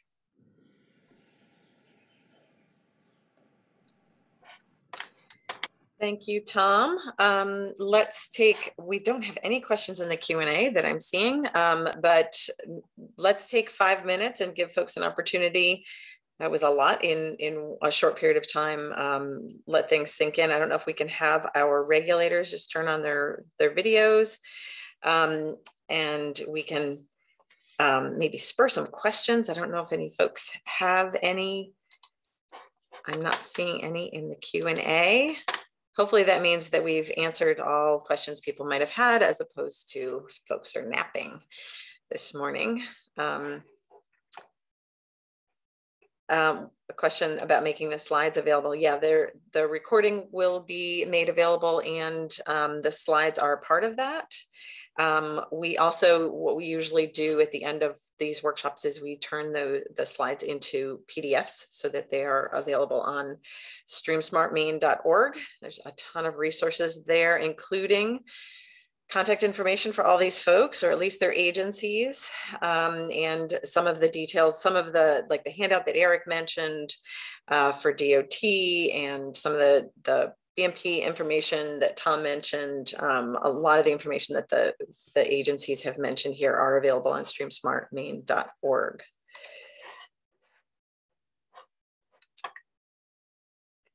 And Tom, go ahead. Uh, Hi, I have a quick question for the Army Corps. I was wondering if you could uh, talk about any uh, exemptions, if there are any, for permitting of stream crossings uh, for timber harvesting activities.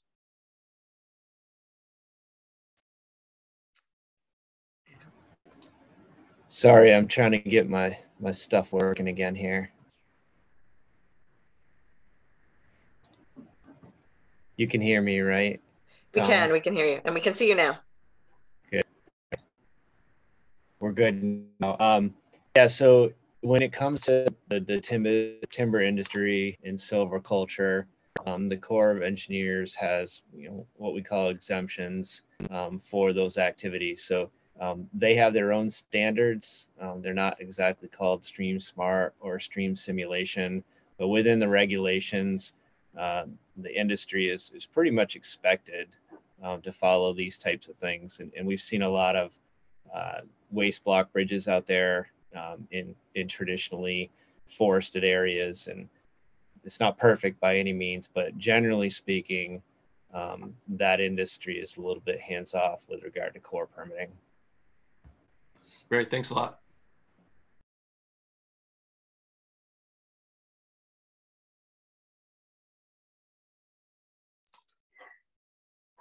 Go ahead, Eric. I'm not sure if you're seeing the question in the chat. There's a specific question for you. Um, and if that wasn't what you were going to say, you can follow up with answering the chat.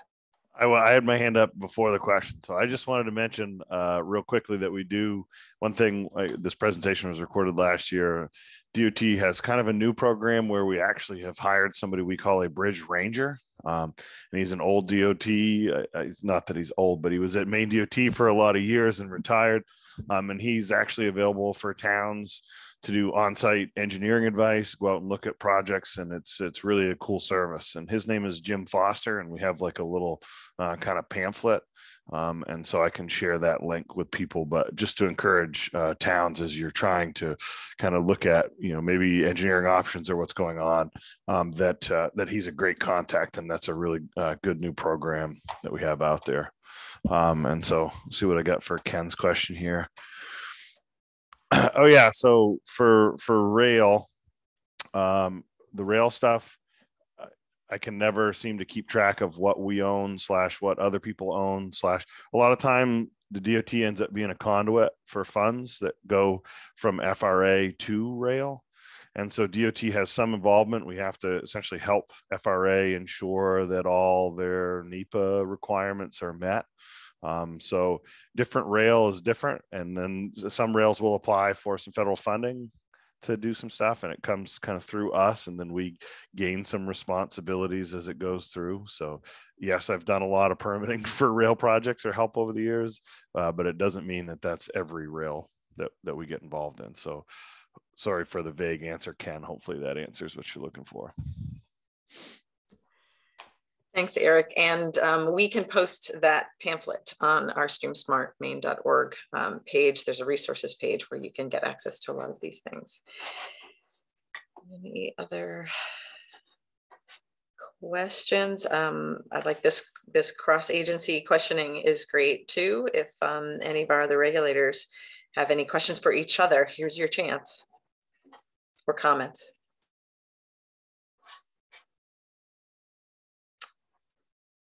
And if not, we will have um, a chunk of time at the end of the whole workshop. So if something percolates up between now and then, we can bring them up at the end as well. Um, and if not, let's, we're only five minutes behind, which is amazing considering the technical problems that I had this morning. Um, let's, let's still take that 10 minute break. So we will be back at 10.15. We will see you all back in 10 minutes.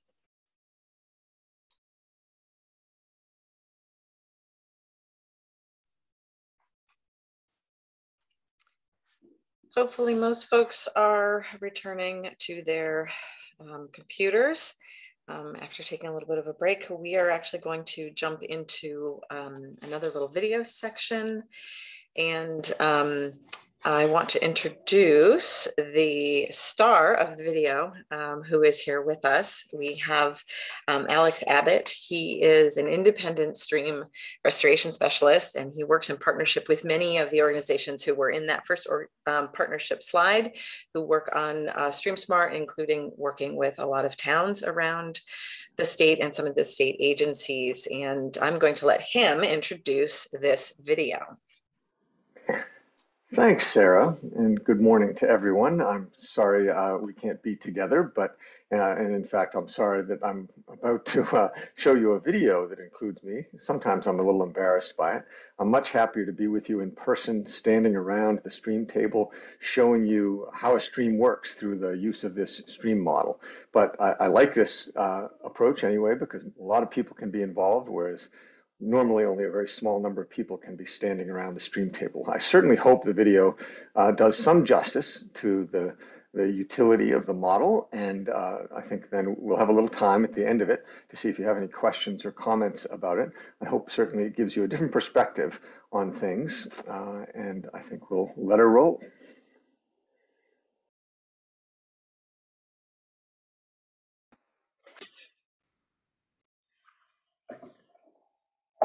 Well, I hope you all enjoyed that. Uh, I cringe a little bit uh, hearing myself so much and looking at the funny differences of scale of the gigantic turtle and whatnot. But I hope uh, that you enjoyed it and maybe saw some things that helped spur your thinking about Stream Smart Crossings uh, and perhaps projects you have in mind. I'd love it if you have any comments or questions about it. Uh, let's take a few minutes now to, to bring those out.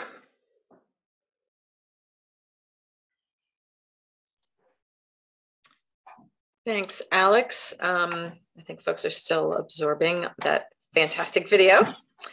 Um, there is a question about financial assistance. I'll actually go into that um, towards the end of the talk today. Um, let me check and see if there's anything in the chat.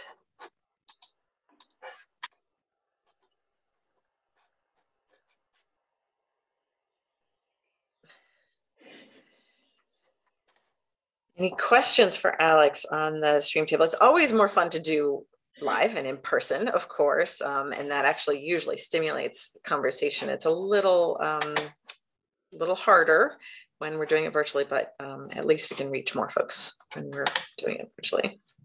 Absolutely. And I certainly wasn't expecting a lot of questions now, but I will be sticking around. Uh, I will be available at the end of the, because I know there's some other questions I saw in the Q&A that I'd love to work on answering uh, that we can speak to together in the end. So thanks. Thanks, Alex. Um, and folks, you can you can always throw um, more questions in the Q and A as we go, just throughout as things occur to you, and we will address them at the very end. Um, and we're actually now back on our schedule, so I'm actually going to turn over the controls to Heidi Bunn. She's an aquatic restoration engineer with the Natural Resources Conservation Service. And she's actually going to get dive a little deeper into the technical aspects of actually building a Stream Smart crossing. Take it away, Heidi. Good morning, everybody. Hopefully you can hear me now. Can see my screen. Um, so as Sarah mentioned, I'm an aquatic restoration engineer for the NRCS in Maine. Um, and today I'm going to give you an overview of what really goes into creating a Stream Smart crossing. Stream Smart is really just a simplified version of the U.S. Forest Service's stream simulation design, with the goal of making the road invisible to the stream and allowing natural stream processes to occur, like regulating the flow of water, moving organisms and material up and downstream, maintaining water temperature, and providing habitat for our native species. If you really remember only one thing today, remember our Stream Smart Golden Rule. Let the stream act like a stream. We want to install a structure that the stream does not know is there. And that is really a shift and focus from trying to squeeze a stream through a culvert to designing a road to go over a stream. So in Stream Smart, Alex covered a little bit of this, but we have a couple of different options in order of preference. So first we have, we can avoid creating a crossing in the first place. Is there an alternative access point that we can use? Keep in mind that crossings cross not only to install them, but also to maintain them. So if we can reroute a road in order to avoid crossing a stream, that is really our preferred option. And number two, if the road is no longer used, we can remove the old crossing and restore the channel to its natural condition.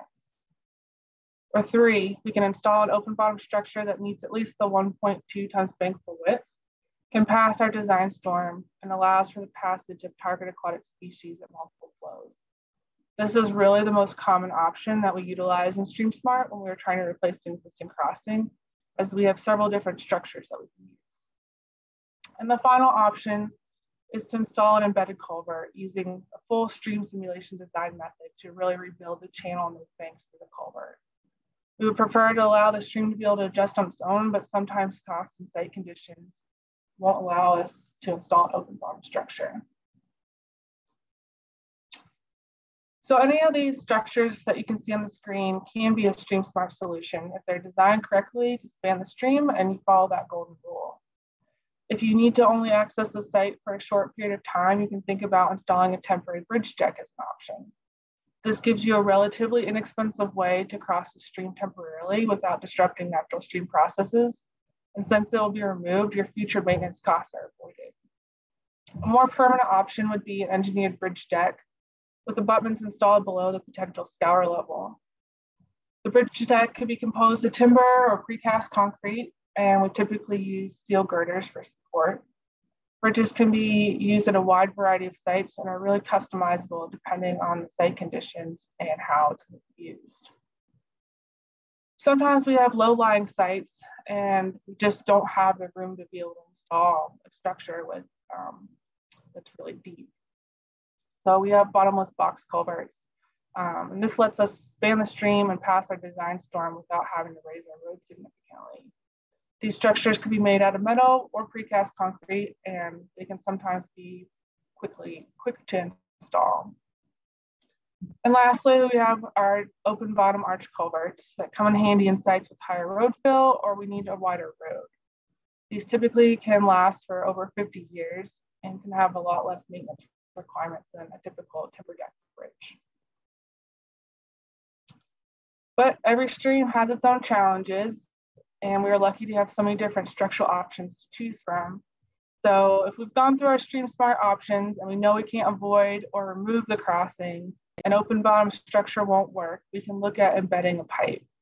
Embedded pipes are really great at distributing loads when we're working on weak soils.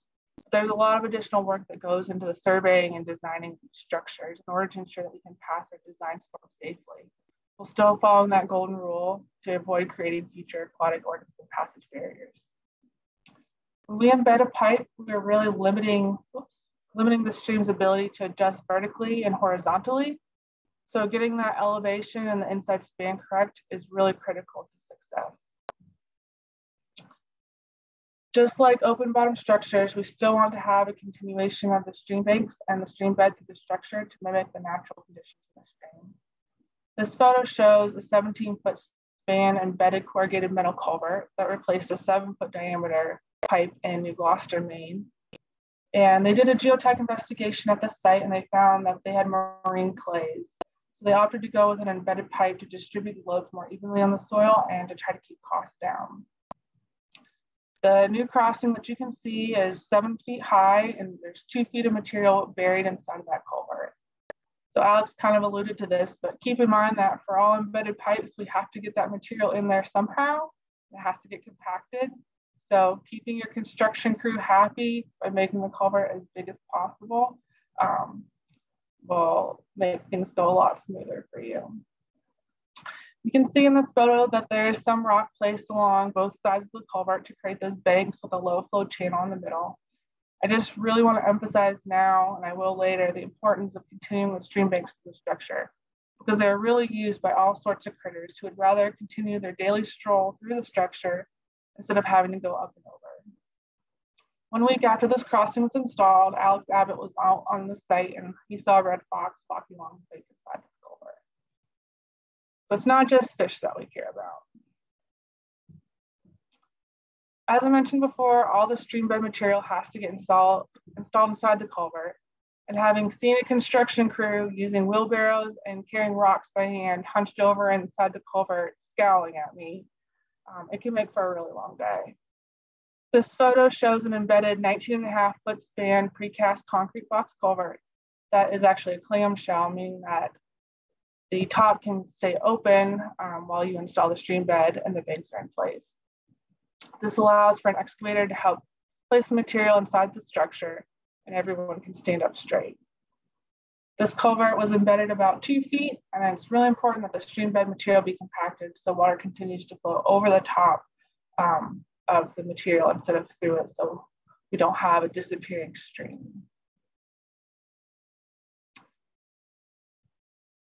And I know you've seen some of these photos earlier, but I just want to emphasize that installing a stream smart structure is really an investment in your property with many benefits that we'll discuss, but I just want to touch on why retrofitting existing crossings can do more harm than good. The photos here show great examples of the old design thought process of trying to squeeze as much water through the structure as efficiently as possible without really taking into consideration the ecological impacts. Lining a culvert with either a smooth plastic liner as shown on the left or concrete as shown on the right can increase the lifespan of a structure that may have started to rust out on the bottom.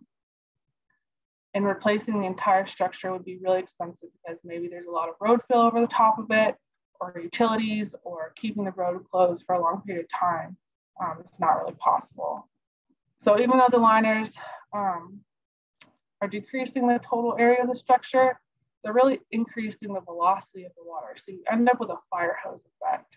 This causes significant scour at the culvert outlet, perching the culverts even more than they already were, and ultimately reducing the aquatic organism passage. So in StreamSmart, we have four or five S's depending on how you want to count them, but I'm going to go with five S's um, for our rules of thumb.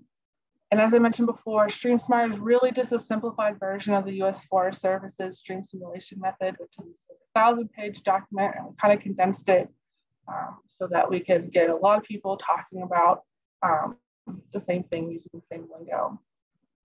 So we just want to highlight these five S's um, as things to think about when you're planning and designing a stream smart structure.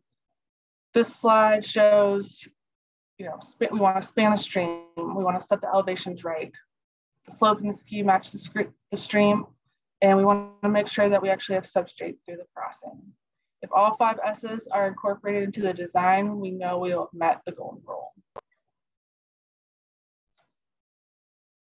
So when we say span the stream, what we mean is installing a structure that lets the stream act like a stream. In order to do this, we need to figure out what the channel dimensions should be at the site if we live in a perfect world without any barriers. If we want, we want to get the measurements outside the influence of the existing crossing so that we avoid creating a pinch point in the stream.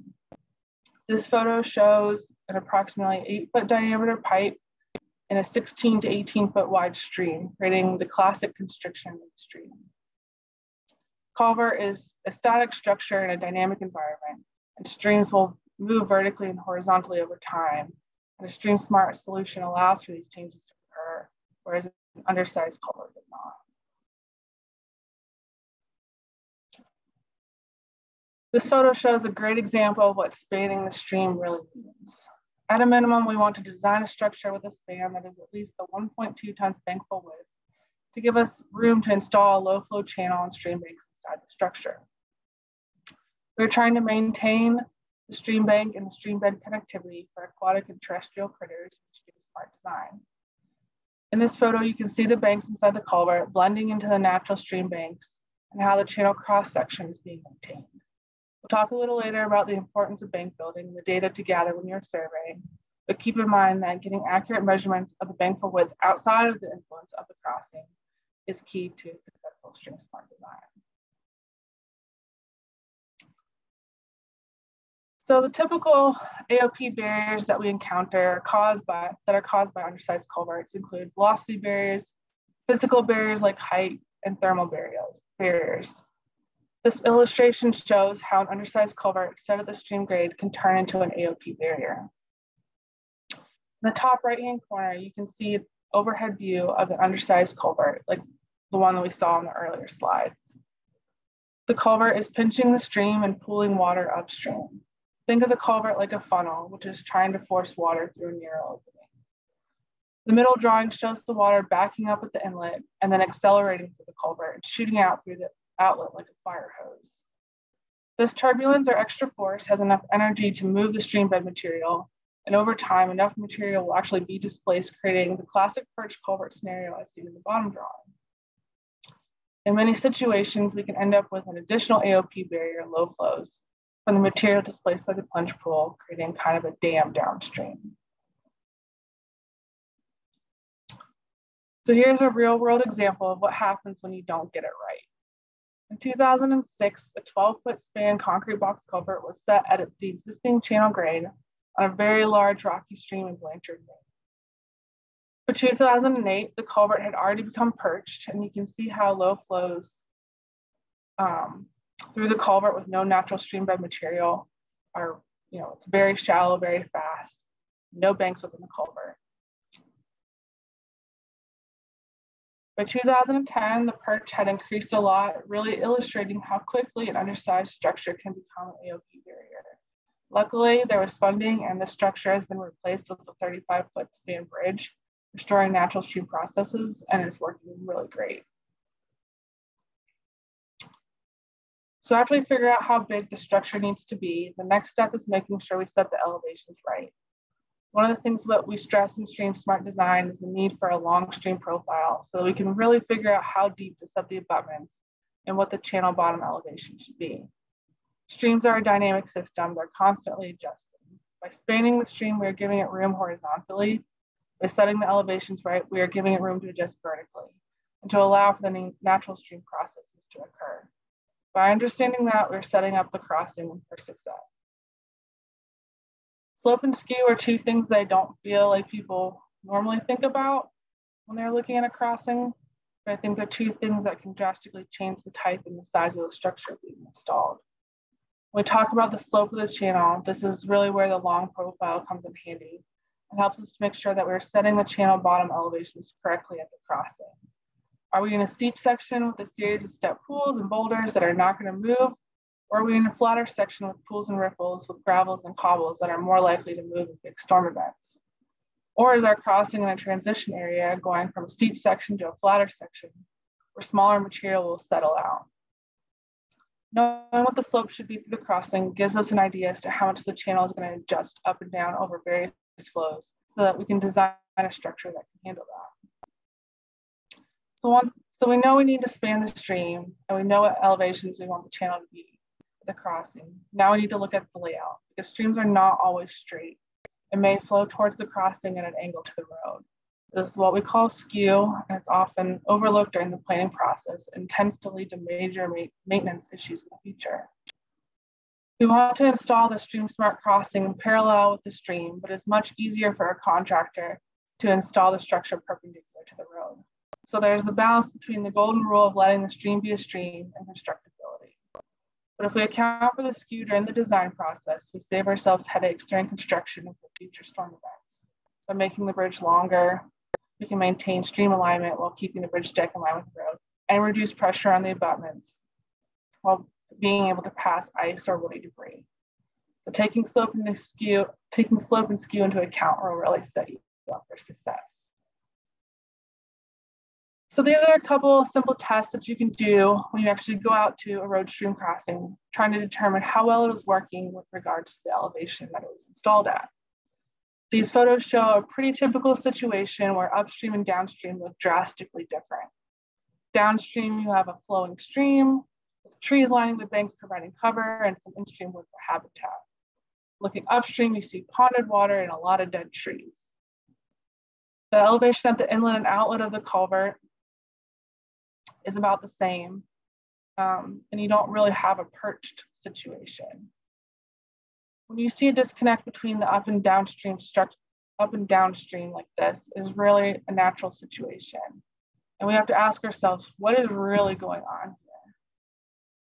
When we see ponded water like this, we normally want to blame it on the beavers. But as you can see in the photos, there's not a beaver dam at the culvert inlet. There's no debris blocking the culvert inlet either.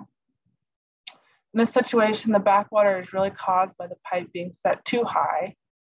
And we can still have this issue with the channel spanning structure as well if we do not get the elevation correct.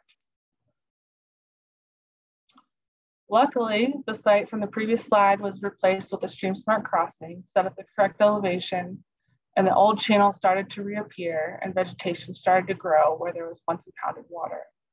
It always amazes me at how quickly things can change upstream when we give it the time. And these trees will eventually regrow and provide cover for the upstream channel, keeping water cool for our native brook trout and salmon. On the opposite end of the spectrum, if you come to a crossing that looks like this, you can see the channel looks pretty much the same upstream and downstream. You have a free flowing channel with no impounded water and similar stream bed material. So you know that the elevation, although not perfect, is much closer to what it should be. Note that there is some substrate in the existing culvert, although it doesn't cover the bottom completely because you can kind of see the, the metal corrugations of the culvert. And there's no banks inside helping to form that stream cross section either.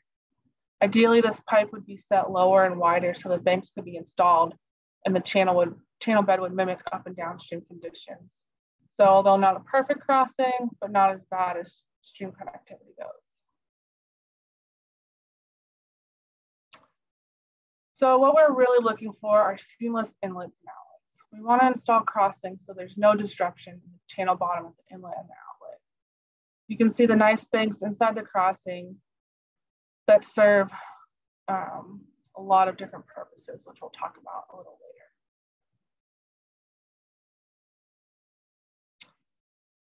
Again, those are those banks that were built in. So the last S that we're going to talk about is making sure there's substrate in the crossing. What we mean by that is making sure that the material through the crossing mimics the natural channel bed material. This is important for the habitat of aquatic species as our goal is to improve in-stream connectivity. As we talked about with the slope of the stream, knowing what types of in-stream features should be present at the crossing is important. It's amazing how quickly a channel will start to readjust itself once an undersized culvert is taken out. But sometimes the channel might need a little more help, and that is when we start adding things back in like boulder clusters or step pools. It cannot be overstated how important having natural stream bed material inside the crossing is.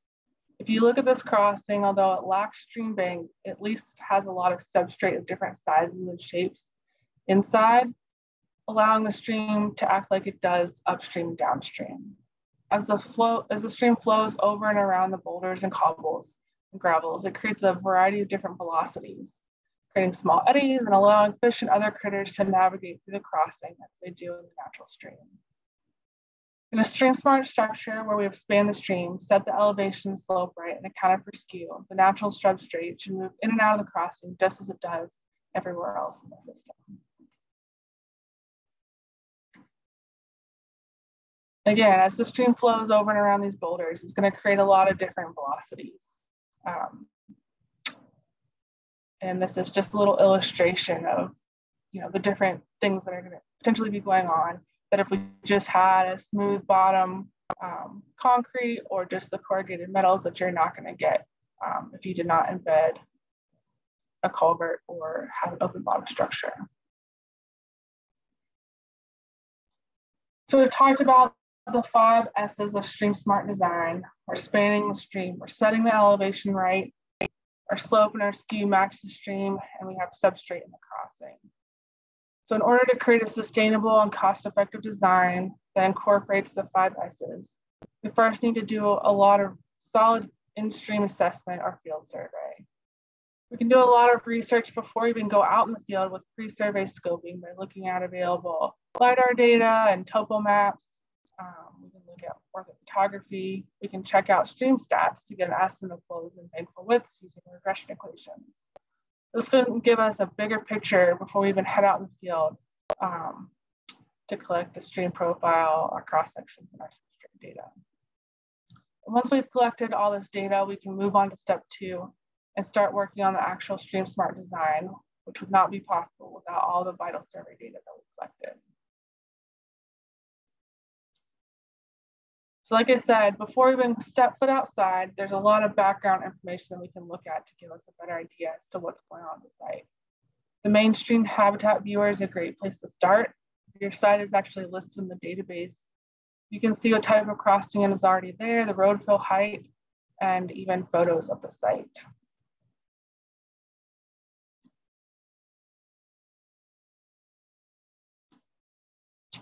You can also look at topo maps and aerial photos of the site to identify areas where you may need to explore once you're out on site or potential obstacles that you might encounter like a dead water upstream of the crossing.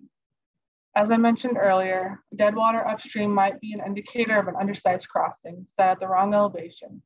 So you can kind of start piecing together what is going on out there ahead of time.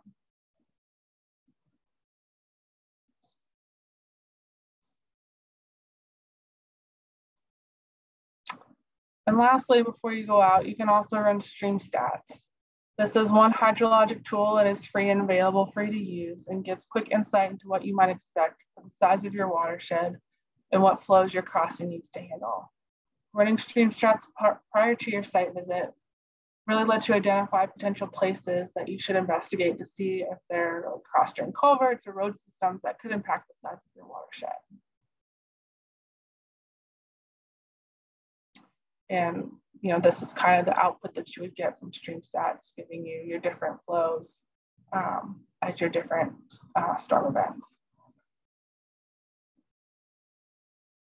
So once you have your boots or your waders on the ground, you're ready to start collecting the data you need to start designing a proper StreamSmart survey.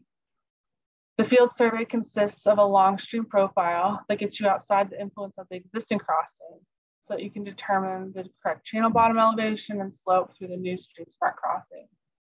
This in turn allows you to figure out how deep to set your footers or your abutments so they are below the potential scour level. The stream profile also gives you insight into the amount of road fill currently in place, which can help narrow down what type of stream smart structure you want to install. In addition to the stream profile, you'll also want to survey cross sections up and downstream um, that will help determine your structure width and the general shape of your channel. We want to mimic the natural channel cross section and the stream banks through the stream smart crossing. So this is a critical element in the design process. And lastly, the substrate characterization is going to tell us what size material we need to build, need to use to build the stream bed through the structure, but also what size rock we need to have to stable banks. Streams are a dynamic system, and we want to have stream bed material that is moving in and out of the structure um, as if the crossing was not there. But we don't want our riprap armor and our stream banks to move.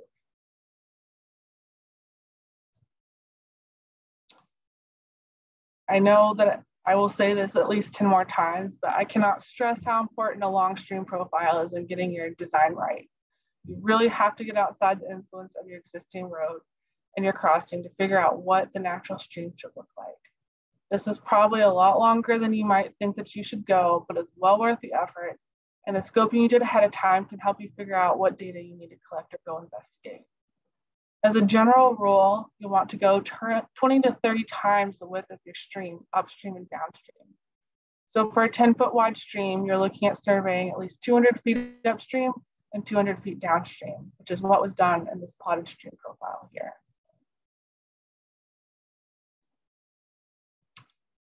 So this is just a simple illustration of how we're collecting that data. The white line is showing our channel bottom elevations and the road surface. The green tripod is representing the level that we're going to use to survey the stream sitting on top of the road. And the blue line shows the water level at the time of survey and flowing through the existing culvert.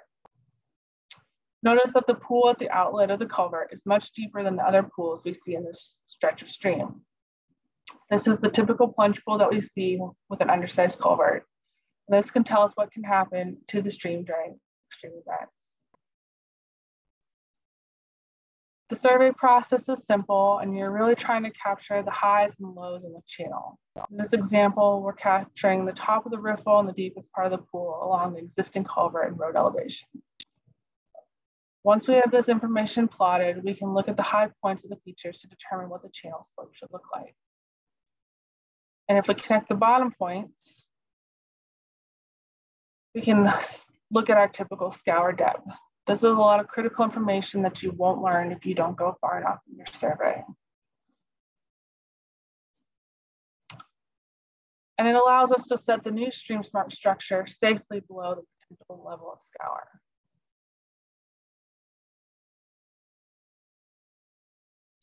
So here's another example of a stream profile showing a culvert set too high and a deep plunge pool. You need to be really careful at what you're looking at in the area within the influence of the culvert, as this rarely, this has rarely natural features. At this site, there's sediment that has accumulated upstream because the culvert was set too high and material wasn't able to move naturally. There's also material downstream that has accumulated that could be left over from the plunge pool or because the road has overtopped multiple times and you have road fill material that's actually in the stream. You have a deep plunge pool downstream that's much deeper than what is seen in the rest of the system, indicating that the culvert is undersized and acting like a, like a fire hose. So this is a profile from an eight foot wide stream with a 30 inch diameter culvert in Phillips, Maine. Again, our typical rule of thumb is to survey 20 to 30 times the stream width, which would have been about 200 feet upstream and 200 feet downstream. But you can see what they surveyed is about twice that. So let's talk about what information they're able to gain by surveying almost 100 times the stream width. The bottom line, the brown line is the surveyed channel bottom, and the gray dashed line is the estimated channel slope. You can see how much material is accumulated upstream and downstream, making the channel artificially too high. Surveying the old way, right at the crossing, we would have gotten the channel slope pretty close, but it would have been at the wrong elevation. Using the minimum stream smart guide of 20 to 30 times the stream width, we would have gone about 200 feet upstream and downstream. We would have gotten the slope and the elevation wrong. But the guys that were out surveying knew from scoping out the site and from experience that they still hadn't gotten outside to influence the crossing. So they opted to extend the survey. It didn't take them a lot more time to get the data, but it was the only way to get the slope and elevation correct. It's never gonna hurt to get more data. You don't have to use it, but at least you already have it. So we say stream width and bankfull width and ordinary high water mark. Um, but what we're really talking about is, you know, the width where waters will start to flow into the floodplain, which is about every 1.2 to one and a half years. Um, and this is generally where you see woody vegetation start. This can be tricky, a tricky measurement to take. So taking several measurements upstream and downstream outside the crossing influence and taking average is your best bet. When we are out surveying our cross sections, we're going to define that floodplain, our top of banks, noting where our bankfull width starts, where our water line is, and the channel bottom to get the shape of our low flow channel and our banks correct through our new structure. Through our new structure.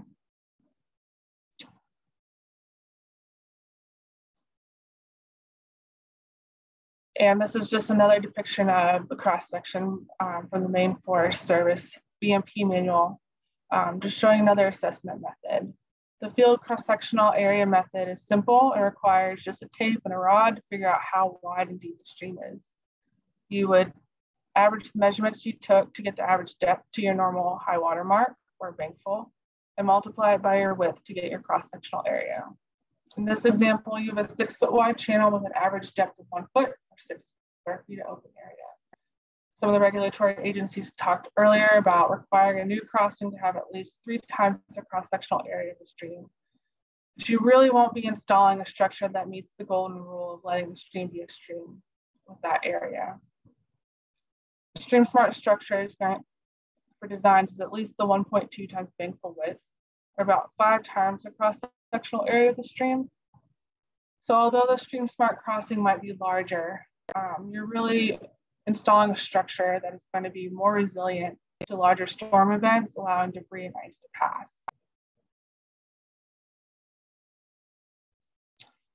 So the last part of our field assessment is looking at the substrate in the stream. We want to take these measurements in an undisturbed section of the stream that will have a similar slope and cross section to our crossing. These measurements are taken in the area of our cross section, and it's called a pebble count, where we randomly measure 100 pebbles. Um, I suggest doing this on a day that is relatively warm and the water is not very deep. But this gives us the data to figure out what the distribution material um, is so that we can recreate the stream bed through the crossing.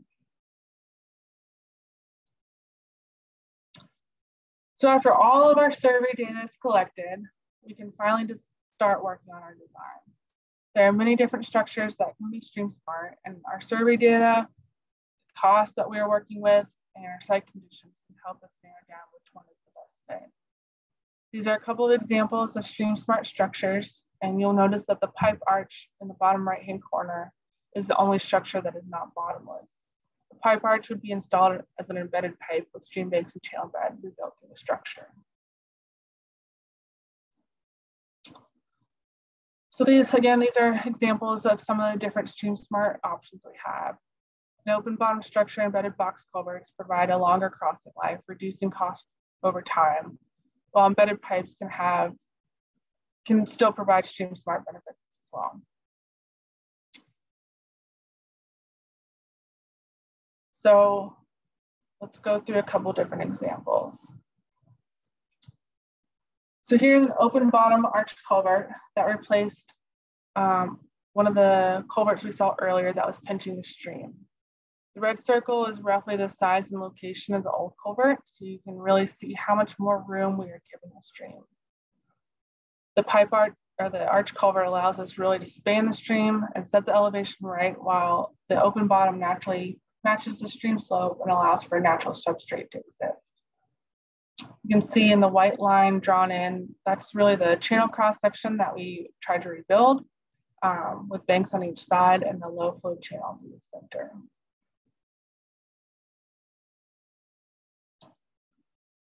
So this is an example of a timber deck bridge that, that replaced the failing culverts on a gravel road in Williamsburg, Maine.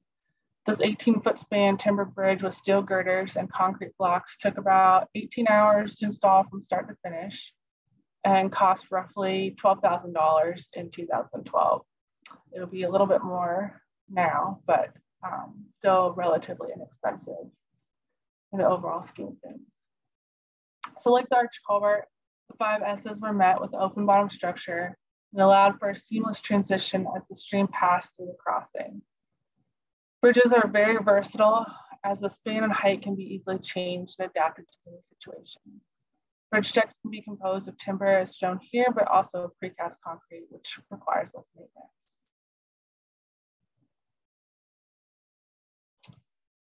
Embedded culverts require more work than an open bottom structure to recreate the stream bed, but as you can see in these photos, end result looks great. This is a 19 and a half foot wide embedded clamshell concrete box culvert that replaced a five foot diameter metal pipe.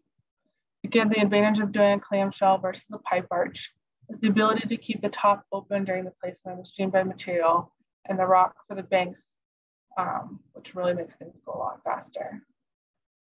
I won't go into a lot of detail here, but I just want to say that when, when creating that stream bed, this is really done in layers so that we can wash the material and make the channel more impervious so that we don't end up with a disappearing stream. We want to keep water flowing over the top of the substrate and not through it to maintain aquatic organism passage. And not all arch culverts are metal. This photo shows a before and after of an 11 and a half foot span bottomless arch concrete arch culvert that replaced a two and a half foot diameter metal pipe in Whitefield, Maine.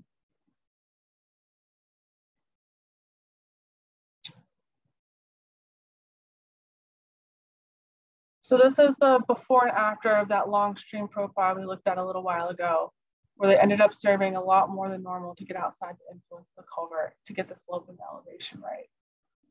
The 12 and a half foot wide embedded concrete box culvert replaced the two and a half foot diameter metal pipe that had been failing every year because it was set too high and was undersized. The new structure was set about three feet lower, and this was a great partnership with the town to teach them how to properly install a stream smart crossing so they could apply it to future crossings. So once you've chosen your structure, you need to make sure that it fits and make any adjustments. The stream profile is what is impacting your elevation, your slope through your crossing. And you can see in this illustration that the base of the abutments are being set below the channel bottom and the potential scour level. Um, the survey cross sections are helping to determine the span of your structure and where those banks should be to provide continuity upstream and downstream. The substrate data that was collected helped to size the riprap used to armor the abutments and build the banks, and to recreate the stream bed. And this is the photo of that crossing the previous slide where the culvert was set three feet too high. You can see how much more capacity the new structure has as the cross-sectional area is about 10 times more.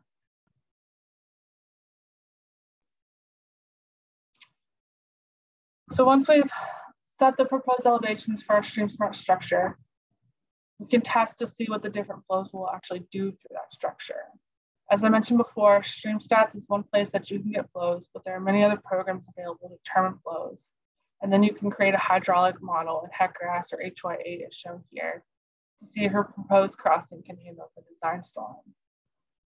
HY8 was developed by the Federal Highway Administration and it's free and easy to use for simple inlet controlled structures.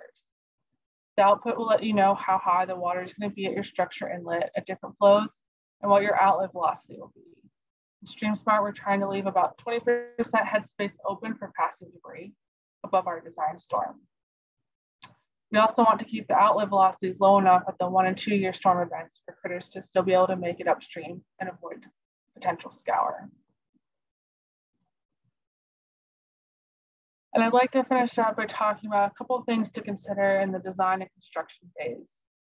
You heard earlier today about permitting. We have a limited in-stream work window from July 15th to September 30th. So start the permitting process early. Make sure your designs include the detailed information like cross sections and elevations that you got from your survey. And make sure that you have a solid water and sediment control plan in place and potentially contingency plans before you start construction. You have to maintain downstream flow during construction. And do some digging to see what's going on below the surface of your structure. Do you have bedrock or are there marine clays that require specialized equipment? Knowing that stuff ahead of construction um, will save a lot of headaches. And lastly, having stable and connected banks in the crossing is crucial to enabling passage of terrestrial animals, and it does take practice. So um, you can see this is a plan view of a potential water control plan. You have block nets set upstream and downstream, preventing the passage um, of any fish and other aquatic creatures from entering our work area. We have coffer dams in place preventing the stream from flowing through the site so we can keep clean water clean and we can take that dirty water and pump it out um, in, into a coffer or into a sediment basin um, before it re-enters the, the system. So here's a real world example um, of a site where dewatering was was and could have potentially been a nightmare. Um, on the river left side, you can see that they use sandbags to prevent water from entering the work area where they're setting the footers while the stream flew, uh, maintained flow through the center. Um, and on the right side, they use um, another type of cofferdam to keep water out of the site. And they have dirty pumps, um, taking that dirty water and pumping it out into um, hay bale sediment basins so that, you know, kept the clean water clean. Here's another site. This is of one of those clamshell box culverts where the engineer um, designed a bypass channel um, so that they can maintain uh, stream flow, not have to have pumps on all the time um, to keep that water flowing downstream. They did use pumps to pump out any dirty water from the construction area. And this is an example of one of the sediment basins that you could build. Pretty simple, um, it's just hay bales, stakes, and some geotextile. Um, and you're again taking that dirty water from your construction area and and it's being pumped into here, which is set away from your stream and from your work area and is allowed to filter out um, through the geotextile and the hay bales and then through like a vegetated area um, before it gets absorbed back into the system. And lastly, we'll talk a little bit about building banks. Um, in this photo, you can see that they have these wide um, footers before they start placing their blocks. And on the left side, they have not placed new riprap or built any banks. The right side, um, they have spent a lot of time building the banks. So let's go through a couple of those steps. So again, there's your footings for your structure. And they've already gotten their first layer of foundation rock in place. Again, that rock is being sized based on other key pieces within your stream. Um, and so that it is not, it's stable at the velocities at at least the 100 year storm event that are going through your structure. You want to, a, you want it to be angular, you want it to be uh, know, well graded so that you're filling in those voids um, with material. And then, and then you're filling, once you've got all your rock in place, you're filling in those smaller voids with fines. And then you're putting your next layer of rock. And eventually, you can have it so that you don't really see all that riprap armor.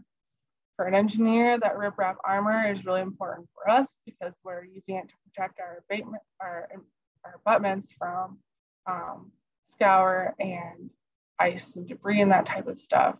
Um, from the biological side, we're also doing that so that we have that connectivity for terrestrial critters up and downstream. Um, but we're also using it to create our natural um, stream bank or our natural stream channel width through there and we don't end up with you know a shallow um, cross section. We want to have a low flow channel going through here. So again, there's that foundation rock your fines. And that's what it looks like when it is finished.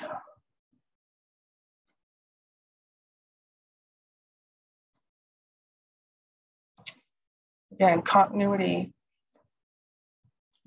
upstream and downstream. The stream doesn't know that the crossing is there. And you know, we're the stream banks, we're matching the natural shape of our channel. We're armoring our footings and our abutments against scour, and we're allowing for terrestrial um, critter passage. And it's not always, you know, what we would consider wildlife. Sometimes it's house cats that are checking things out. And, you know, we want our banks to be connected at all corners.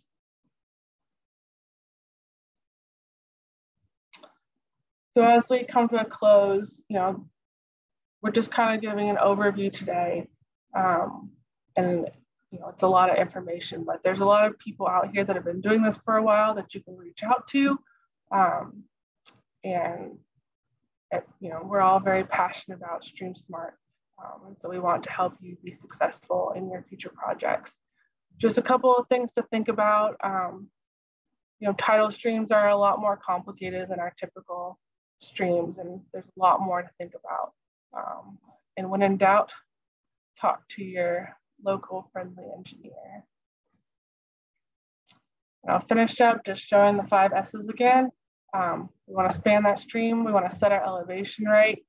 Your slope and skew match the stream and you've got substrate in there, then you will have a successful stream smart structure and you'll be following that golden rule of letting the stream act like a stream. And with that, I will wrap it up.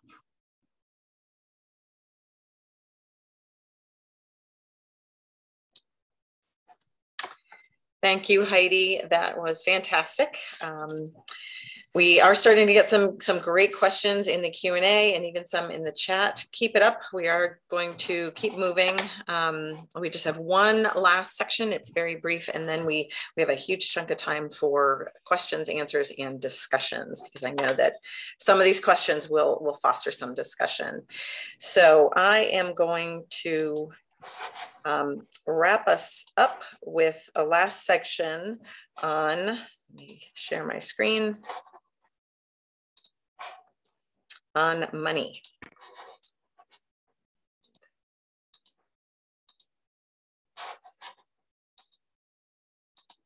Okay want to talk a little bit about the costs and benefits of stream smart crossings. And we often get to this point and the question that we get is, that's, that all sounds great, but how are we supposed to pay for this?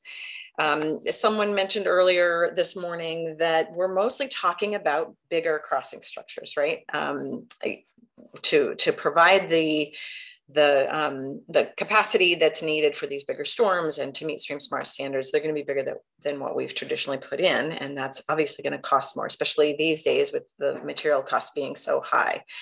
And communities and individuals and whoever is, is needing to make this crossing often has a very limited budget. I know municipalities often have annual budgets and they're they feel like they're trying to decide between whether they plow the roads in the winter or if they're going to be able to put in a stream smart crossing but I'm not sure that's really the, the way to think about it because there are resources available and I'll touch on some of those. We really need to be thinking a big picture about whether we can afford not to use Stream Smart design.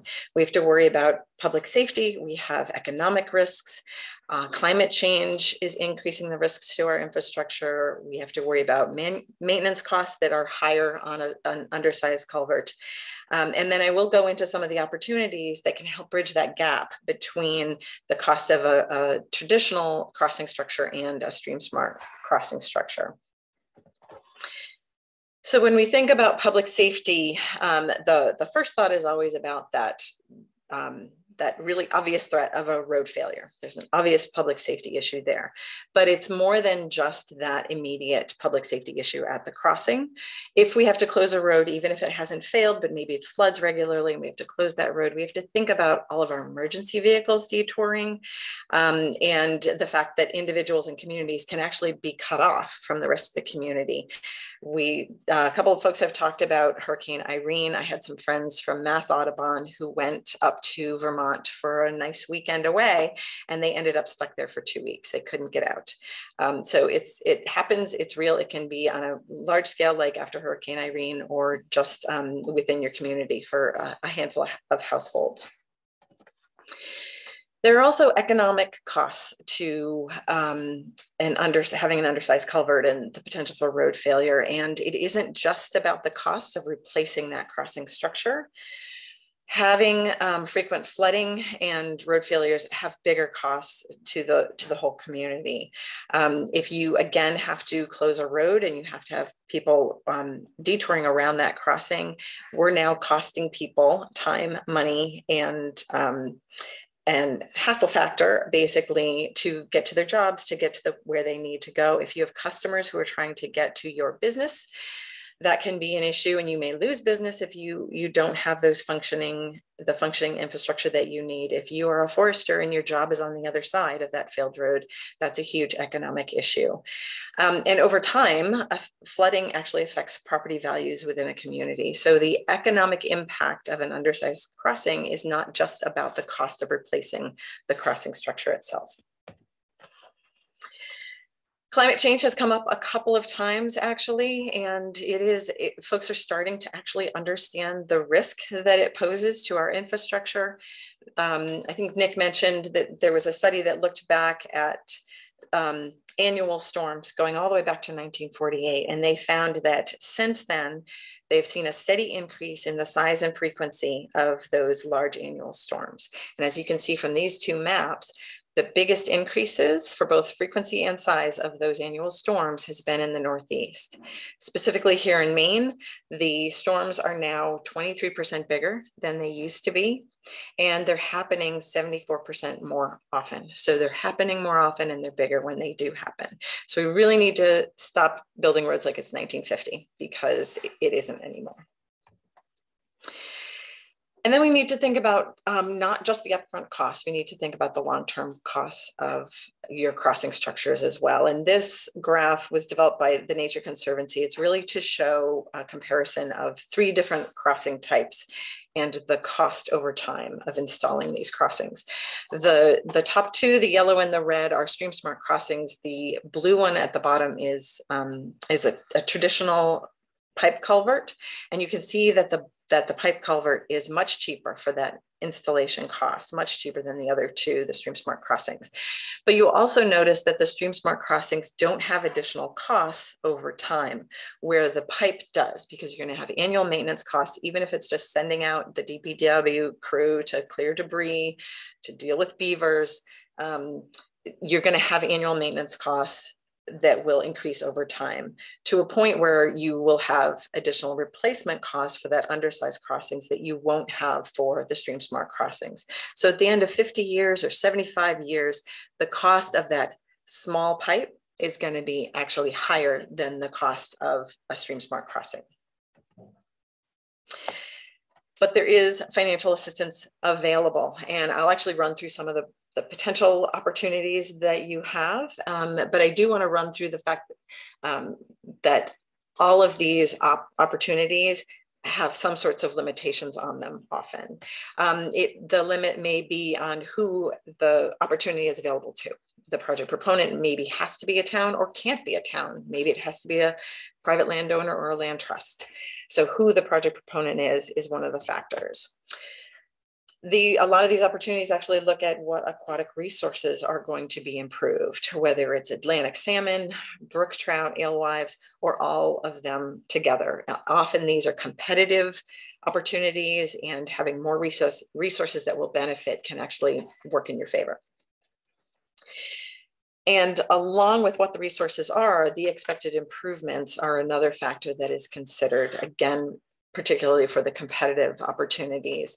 How many miles of stream habitat will be restored, um, whether it's providing access to the ocean, access to ponds, what species are available, and the combination of all of those things together. Where your project is in the state can um, determine what opportunities are available to you. Some agencies and organizations only work in some parts of the states or some opportunities are only available in some parts of the state. Um, and then there's also the factor of needing other funds. Rarely do these opportunities pay for the entire um, structure. You, they will often provide the difference between a traditional crossing and a stream smart crossing, but you may need to piece together other sources of funding to, um, to complete the entire project. And then of course, every opportunity depends on what funding is available through that opportunity, whether it's um, that it was a short-term opportunity and it's now over, or if it's an annual opportunity that has annual budgets that change, or whether um, it's simply the opportunity has been fully expended by the time your project comes up. You need to, to keep track of, of what is available when. And finally, one of the, the big consistencies in all of these opportunities is that most of them require Stream Smart design to even be eligible to take advantage of these opportunities. So it, it behooves you to, to be moving in this direction of using Stream Smart Crossings when you're designing crossings. Just a few of the resources that are available. Um, I actually started with the NOAA grants because it's a reminder to me to share with you all that, that um, the infrastructure bill that passed recently has funding specifically for stream crossings the funding comes in various forms through various agencies and and it hasn't all been um, it, it, hasn't all come out yet we don't know how much is going to come out how and who's going to be eligible for it but noaa does have some some grant funding that will be available from this act. Um, i believe dot has received some funding that will help them pick up their backlog of crossings. Um, and there will be other opportunities that come out of that act over the next five years actually. Um, here in Maine, we also have the Natural Resource Conservation Program. This is a mitigation fund that is developed through or funded through projects that impact aquatic resources. And sometimes those funds can be used for um, road stream crossing projects that are improving aquatic habitat. The U.S. Fish and Wildlife Service has a Partners for Fish and Wildlife program that um, deals with a lot of different fish and wildlife issues, but it is aimed at private landowners, but that's often an opportunity for funds. And then there's a whole list of organizations that, that often will have um, financial opportunities depending on where you are and what resources are available and what they have available. Sometimes it's the Nature Conservancy, sometimes it's Trout Unlimited, Atlantic Salmon Federation, the um, National Fish and Wildlife Foundation has had funds that can all be used towards um, replacing culverts with stream smart crossings, but it depends on where you are and what the resources are and what happens to be available at that time. These last two, we're going to go a little more in depth. Um, I'll talk a little bit about the Natural Resources Conservation Service, Regional Conservation Partnership Program, and then we'll actually have John McLean talk about the Maine DEP Stream Crossing Upgrade Grant Program. The um, NRCS actually has a couple of different ways that they work to improve aquatic organism passage or AOP. Um, on the bottom is information on sort of the standard way that they address um, crossing structures across the entire state. Um, it's through their EQIP program, the Environmental Quality Incentives Program. That has an annual allocation that's dependent on the budget every year, um, and it depends on what's been expended already. But it is statewide, um, and it's a great opportunity. Reach out to your local NRCS office for more information.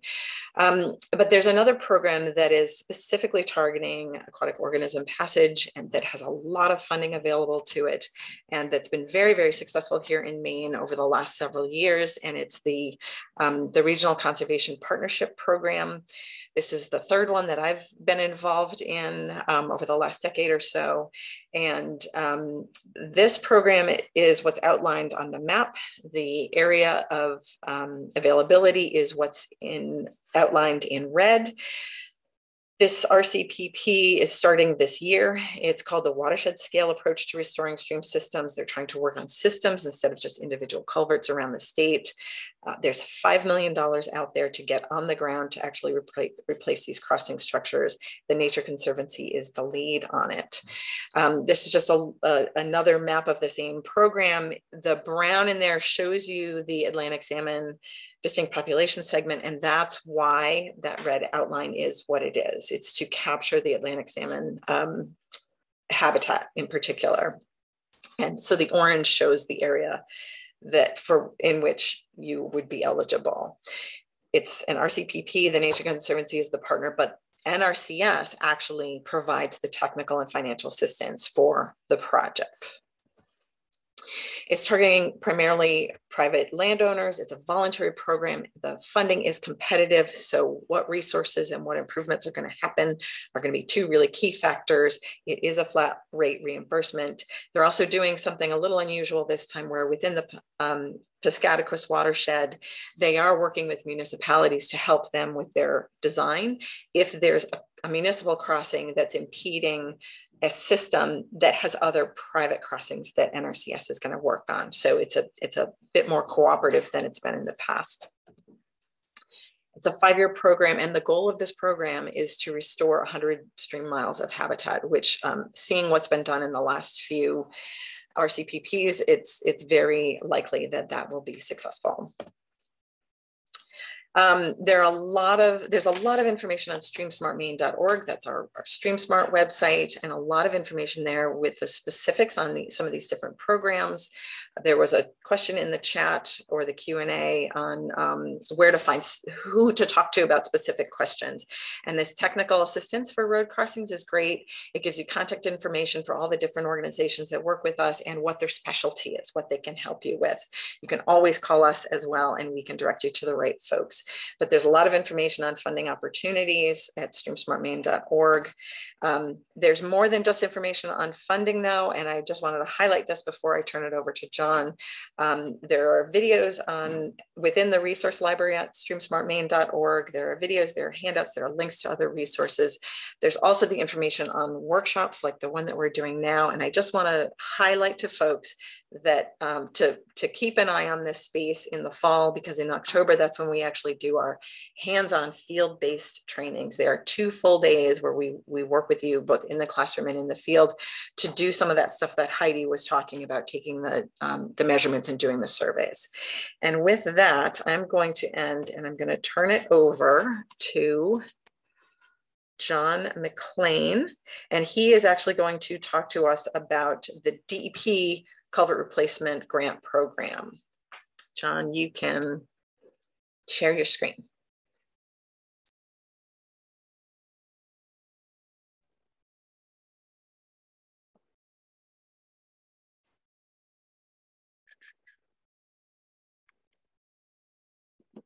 So I actually have to admit, so Sarah, did you not get the video? I am so sorry, John. Yes, um, end of the day. Um, I am going to John did it the smart way. He recorded his talk, so I will share that with you. And then he's here to answer any questions. And there is some really important information in there because if you have used the grant program in the past, there are some changes. I apologize. Thank you, John. Let me just pull that up. and run it.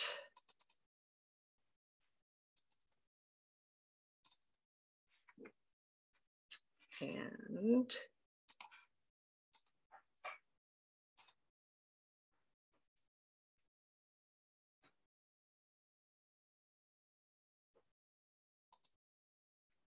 sorry, I need to share.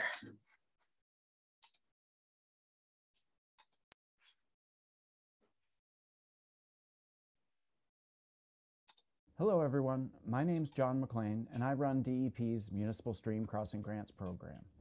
This program has helped with over $15 million for stream crossing upgrades since 2015, opening more than 300 stream miles to Fish Passage. We expect to have at least another year of funding for the program. Some things are changing with the program, so I want to take this opportunity to give some basic information that will be useful before the grant application materials become available later this summer. This is a competitive grant program, which means that we can't award funding to all projects submitted in every round. But previous applicants are encouraged to review previous notes and scoring materials and resubmit. Grants are for a maximum of $125,000 and scoring is based on how well the project meets program goals. Given funding source for the upcoming round of grants, all projects will have to be complete by December 31st, 2024. Competitive grant proposal scoring is tied to how well it meets three goals. It improves public safety and reduces flooding, advances the goals of restoring fish habitat, including sea-run fish, native brook trout, and wildlife, and the extent to which the proposed project represents an efficient and cost-effective investment. There are some pretty big changes on the horizon for this round, but these changes are meant to make the process faster, allow more municipalities to apply for funding, while also ensuring a quality final product. There's $3 million available for the upcoming round. Instead of asking for plans at the funding stage, we'll be asking for commitments to meeting certain performance measures outlined by StreamSmart standards. Not reviewing plans at this stage allows for some of the preliminary work to be completed using grant funding. We will still require a StreamSmart longitudinal profile, adequate average bankfull width measurements to support the structure sizing, and final plans as a deliverable of the award contract rather than a submission at the time of the application. Funding will be made available as these project deliverables are submitted and approved following award. This method will also allow for corrections in sizing and design based on better field information and allow payments to be made for some of that investigative and survey work. Since there are some folks that are likely already thinking about upcoming grants and compiling information, this is very important. In 2022, we will not be reviewing structure plans as part of the grant scoring. We encourage you to use the previous year's application as a guide, but for this stage, time will be best spent getting good preliminary bankfull width measurements and basic desktop level review of the site. To qualify, projects must be located on a municipal road. The existing crossing must also meet our definition of a culvert. Another area to be aware, we are reviewing our definition of culvert and bridge to allow some structures previously disqualified for being bridges. Keep an eye out for that change when the RFP comes out. Here are some important dates to keep an eye out for. We plan to release the RFP in August, with proposals likely due in November. We hope to speed up the turnaround on awards with the new requirements, but announcements would be made in February or March. After contracts are in place, we can begin paying expenses related to the projects, and in July 2023 would be the first in-stream work window to complete these projects. Projects not completed in the first year would need to be completed in the second year to receive funding due to the funding deadline of December 31st, 2024. You can find more information about the program, previous rounds, and find any announcements as the dates are set for the next round on our website. Scoring information, top placing projects, and guidance videos are available there as well. Once again, my name is John McLean with Maine DEP's Stream Crossing Grants Program and Nonpoint Source Training Center. I'll be around during the Q&A if anyone has any specific questions. Thank you.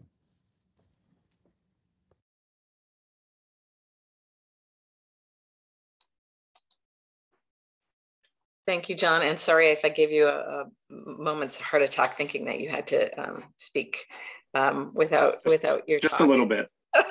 sorry, a little frantic.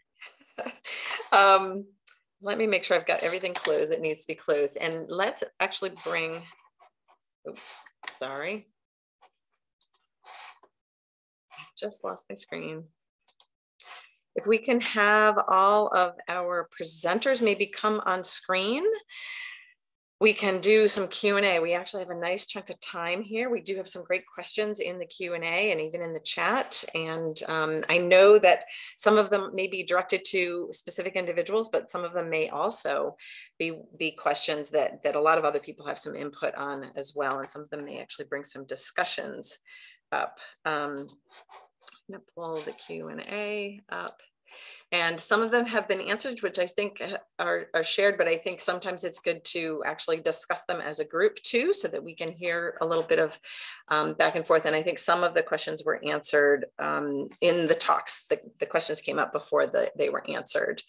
Um, there were there was um, a question early on about the regulations about whether a NRPA permit is required to replace an existing culvert. And um, I, we have lost Colin. He said he had to leave at 1130, but um, he actually put an answer and Anna did as well. Um, the question is, does that mean that compliance with Stream Smart principles is not required? Is an Army Corps permit required? And how about on a private road? I will read Colin's answer. And I don't know if Anna, you wanna pipe in with yours. Um, Colin says an Army Corps is still required and the expectation is that Stream Smart principles are used. On a private road, same thing, Corps permit required. And he actually provides his, his contact info. And Anna, I don't know if you wanna pop on and, and discuss your response. Sure. Um, so I can't actually see the question or response anymore. But essentially, when you're looking at the exemption, a lot of the exemptions in the Natural Resources Protection Act have certain standards that people must follow in order to qualify for the exemption. For example, with crossings for this exemption, um, a lot of the standards we have include things like um, sort of maintaining a natural stream bed either through embedment or in either through embedment or having an open bottom structure, having that natural stream grade, not blocking fish passage either through improper sizing or improper installation. So when you look at the standards in that exemption, a lot of them actually are similar to stream smart principles. Therefore, even though it's exempt, you only qualify for that exemption if you're following those similar principles. So um, hopefully that answers a little bit.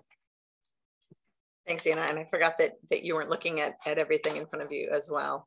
Um, I don't know if anyone has any other um, regulatory or other um, thoughts on the, um, you know, the, the question comes up a lot. What is exempt and what does exempt mean? Um, I don't know, Tom, if you want to, I was just going to call on you to maybe talk about the difference. It's a little bit different for the foresters, right? Yeah, I'll just remind folks that uh, the question was uh, brought up earlier about uh, Army Corps permitting for uh, stream crossings for timber harvesting activities. Uh, he had said that um, timber harvesting is exempt from those Army Corps permitting requirements. Thanks. Um, and maybe we will stick with, um, well, it's sort of a forestry question, but not really. The question is really about, um, and I'm going to throw this out to the, oh, Alex, I'm going to let you go first. Well, all I wanted to do, I think, Sarah, was weigh in really fundamentally about Stream Smart in that um, we do know that the regulations in Maine uh, are not necessarily the strongest. They don't always say that absolutely no stream crossing can be replaced without Stream Smart. We know that. We have developed this program from the outset as somewhat of a voluntary program. We feel so strongly and are so confident that it is the right way to go financially, environmentally, in every way uh, that that we hope folks will accept these principles and move toward them and use them, um, and because we are fully convinced that they're the best way to go, whether or not there are some particular exemptions or regulations don't exactly meet Stream Smart. We feel very strongly that uh, that's why we're here today uh, to present these ideas to you. That we think they're the best the best way to go, regardless of what the precise uh, regulatory framework tells you about a certain site. Thanks, Alex. And I think the, the, the big take home is, is if you if you're following StreamSmart, you're probably doing at least what the regulations require, and you're probably doing more, and you're you're doing something that's actually going to be better for the system. Um, I don't know if folks want to weigh in on, there was a question about uh, some crossings that blew out. Is that a, um, an unusual storm event or, um, you know, that this is a, is when is it, how do you recognize that a crossing is still a good crossing or not? And Heidi actually went into this a little bit. Some of the things to look for, those four S's, right? Um, I think we've gotten very used to seeing crossings done it very traditionally. And um, I think maybe stream smart crossings are, are um, something to train our eye to. And I don't know if anyone wants to jump in on that. You know I will, Sarah.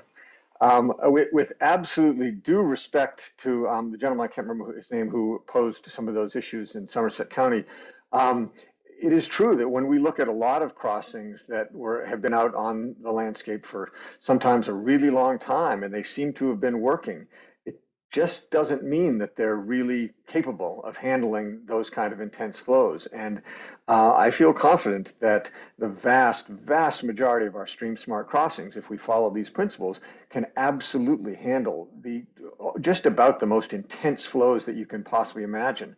Some of it is because of what Heidi mentioned. We are building these crossings with excess capacity to be able to pass debris during these big storms. And that is such a critical factor. And there are plenty of folks, I won't name names, but in the in the state who are still have standards that say, oh, you can fill a you can fill a culvert right up, you know, as long as the road embankment is strong enough, you know, it can probably handle that. Well, we don't necessarily believe that in Stream Smart. We want to provide lots of extra capacity.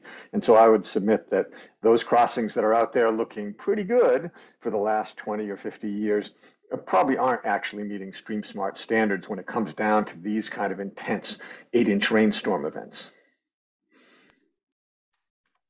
Thanks, Alex. And then I, I want to reiterate that, um, you know, storms are getting bigger and they're happening more often. So maybe what was okay 50 years ago, it's it's in a different world now. Um, it's actually eh, experiencing different energies than than it has for decades. I don't know if anyone else wanted to jump in. I knew Alex would. Thanks.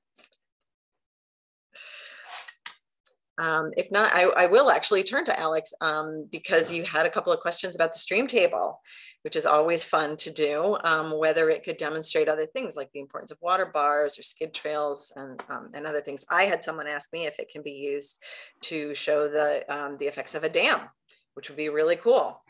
Might want it a little longer or deeper, but go ahead, Alex. Um, it certainly can do some of that. I think what in my answer I gave in the Q and A um, to the person who asked that question originally is that water bars and some of those subtle, more subtle drainage aspects are probably not the ideal thing for the stream table. It is best for showing fairly major dynamics of streams, um, such as dams, for instance. You could certainly mess with uh, dams in it um, uh, it would take a little bit of you know building of certain little structures that would uh, have the show the kind of things that you want to show. But certainly it's that kind of thing um, that works well. The subtle drainage um, characteristics that we sometimes need to talk about when we talk about road drainage, ditching, and uh, uh water bars and things like that, maybe not so much. And Tom, you had thrown something in the um, response as well that maybe SFI is working, is looking at this. Yeah, I don't want to speak for anyone, but it has been a, a little project um, uh, that is that is being undergone right now. Um, some materials are being experimented with. I think uh, some Play-Doh is involved, uh, but we are we are trying some techniques to to show how uh, these um, how how water flows through a site and how it can be managed at a timber harvesting site to protect water quality. Uh, so hopefully we can get that up and running, um, you know, in the, in the next, in for foreseeable future, let's say. That's pretty exciting. I can't wait to see it. Um, we had actually a couple of questions on tidal streams. We're really shifting gears here dramatically. Um, do installations in tidal streams change any preferences in structures? Alex, you jumped in on this one. I don't know if anyone else wants to as well. We often, we used to just have one slide where we said, and tidals, tidal streams are different. And we never talked about it again, but um, it's something we really need to be talking about. Um, let me first say I'm not a tidal crossing expert necessarily, but really fundamentally, it's quite obvious that stream smart principles essentially work to a large extent in the tidal environment, but really the tidal environment requires such a different level of assessment to be sure that we understand the hydrology, which is a, having a bidirectional flow and involving potentially big storm surge effects that just are dramatically different than what we deal with uh, in a standard upland stream crossing, that uh, it certainly takes different assessment and different thinking and design. That doesn't mean, though, however, that the structures necessarily have to be particularly different. The answer I gave in the Q&A certainly pointed out uh, steel crossing structures being problematic in the salt environment, but otherwise, uh, it's really often about sizing and about elevation uh, more than it is necessarily about the particular type of structure. Anyone else want to weigh in on tidal structures? I know that there is um, the the Coastwise program that that was mentioned um, is hoping to develop a sort of program like StreamSmart but coastwise, but it's more complicated. So it's it's a little harder to do. And Heidi, I saw you come off, and I'm actually going to um, direct a question at you too. Um, one of the issues I know with with tidal systems and and sort of restoring that flow is um, habitats and how they've changed over time and what the impacts are to um, to bringing flow back into some of those systems. Um, and i'm pointing it at you um, and this can be secondary is that someone had asked about um, whether you could talk about what changes when maybe we open up an impoundment and restore a stream um, and how we communicate what that change is going to look like to folks both upstream and downstream. But I'll let you jump in on tidal first. I was just going to say, um, following up with what Alex said about structures, is that it's usually the abutment type that is going to change because we're generally dealing with um, like marine clays that are poor bearing capacity soils. Um, so when we're dealing with tidal situations, you're probably going to want to have a more thorough geotech investigation done out there, um, which is automatically going to make the cost of the structure structure more um, expensive, but ultimately you're setting yourself up for success instead of failure. Um, and I have, you know, I'm just we're just NRCS is just now starting to get into tidal structures. Um, so the habitat um, benefits um, I haven't dealt with a lot, but in a freshwater system, going from like the dead water um, to a natural stream um, so that they're matching, you know, we have to think about the amount of material that potentially is going to come down through and how long that's going to take um, and, and that flushing and um, you know, and even making sure with, you know, IF&W that taking out a crossing and opening things up that we're not messing with wading bird habitat or we're not, we're not now opening up passage for invasive um, species that we don't actually want um, to be getting up there. Um, but for the most part, you know, brook trout are, are pretty hardy once we open things up. Um, and so, you know, as soon as the, as soon as that stream opens up, they will start going. I had one structure that I think that the, the brook trout had been upstream, downstream, had been separated for so long that they were genetically different.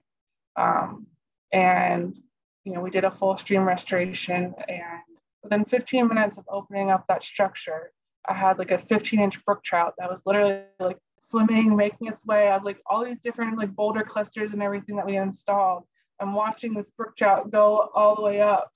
Um, so it really doesn't take them that long to figure things out when we install a stream smart structure. I don't know if I answered your question, but that's where my brain went. yeah, that's that's great. Thanks. And Alex? I'd like to add to that too. Well, I want to add first about you know, the trout, same thing. I think Heidi actually mentioned she was showing the an embedded crossing I worked on in the town of New Gloucester that I spooked a fox in the week after construction, but actually the minutes, just like Heidi said, the minutes after we opened it up, there was an adult brook trout just squirming its way up through the sand. There was barely enough water in there yet to get through, and yet it, it wanted to get through. It was just wonderfully uh, confirming of what we're doing. Um, but I wanted to speak to the idea that the uh, talking to folks ahead of time, I think, really is important to understand when you have a fairly uh, disrupted system. You've had an impoundment upstream of large or small, uh, often that means there's been some fine sediment stored up upstream. And so certainly there's going to be some of that move out. Uh, and it's something that everyone is a bit concerned about. But I think I can say from having done dozens and dozens of these situations that uh, that it often happens so quickly and uh, is very similar uh, in context to having one small bank fail somewhere along the stream, which is a totally natural process that happens all the time in streams. Um, a little pulse of sediment that comes out.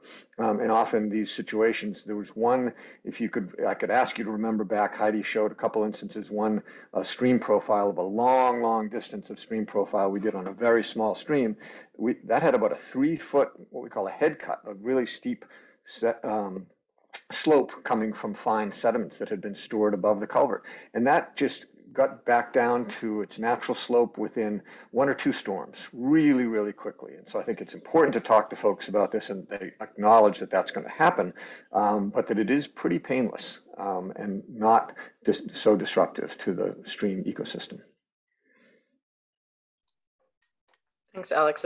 Both great answers. We do need to think about the there will be habitat changes, particularly if these these um, barriers have been there for a long time, um, and then there there's also the the human um, aversion to change that we will sometimes have to address as well, and make sure that um, communication. If you are going to be making big changes like this, communicate, communicate, communicate to your constituents and and to um, the community.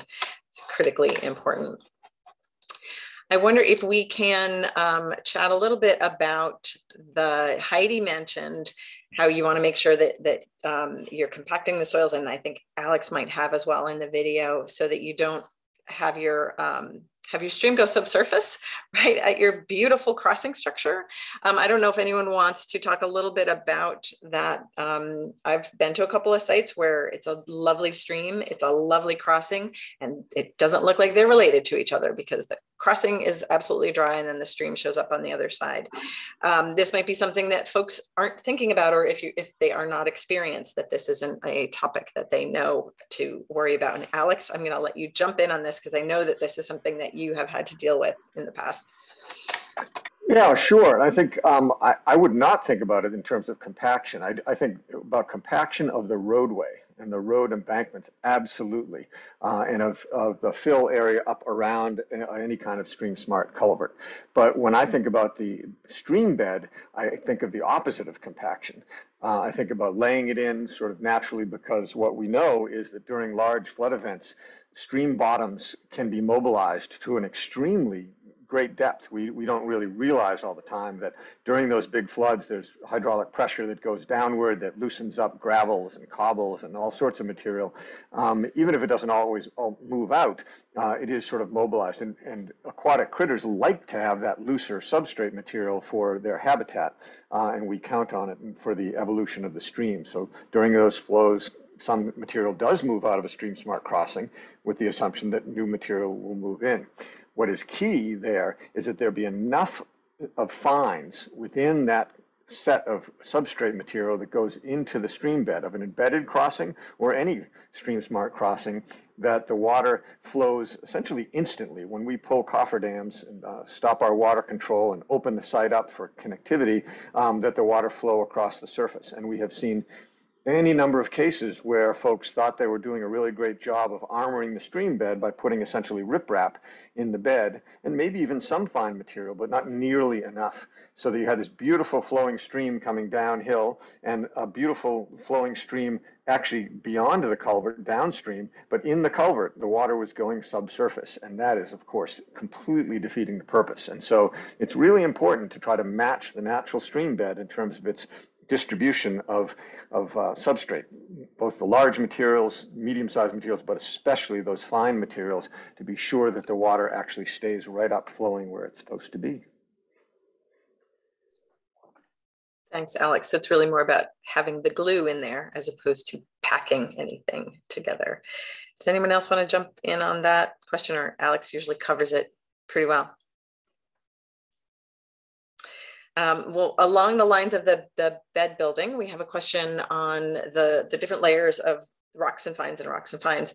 Um, is that first layer of foundation rock, the, that armoring piece that's for the um, at the footers is that necessarily substrate that would match the the substrate characteristics of your stream bed your final stream bed or can that just be riprap to serve that physical function um, so right so at, at which layer are you actually worrying about that it matches the stream go ahead alex um, i think the best way to think about this is the, the rock that we're layering in to help form the foundations for banks is meant to be stable at virtually all flows. We want it to be generally angular and essentially riprap, locking together uh, and never really moving. And that's um, when, so we're, we're doing that to armor the abutments and the footings.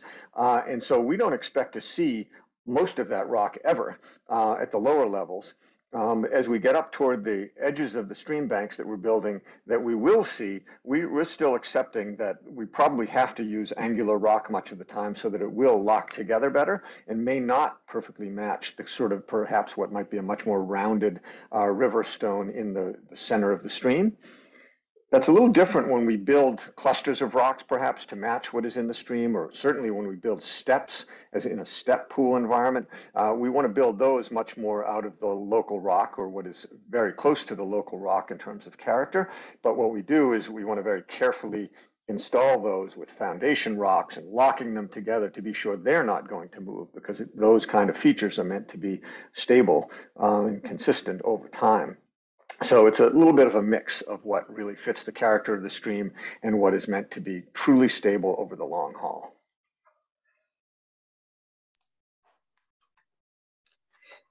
Thanks, Alex. Um, sticking with surveys um, and and characterizing that that stream bed and banks when you're there are two questions on on surveying right um, one is what's the best time of year to identify that high water line and maybe someone can talk about the difference between the water line and and that bankfull width and what those you know whether the time of year is relevant or not except maybe in snow cover. And then the other question is how far apart should your cross sections be? Is there a rule of thumb for something like that? Um, i don't know who wants to jump in first. Heidi you want to start? Sure.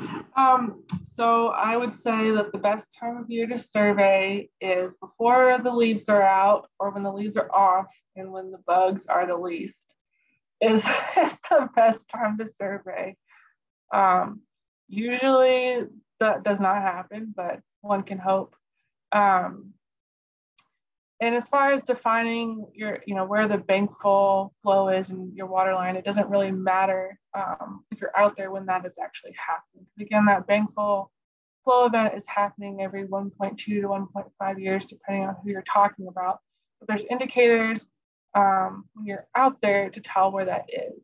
And so your bankfull flow, um, that bankfull width is generally where you see that divide between your woody vegetation and your like grasses because that that bankfull flow that's your channel forming flow. So it's not giving that woody vegetation time to actually start sprouting.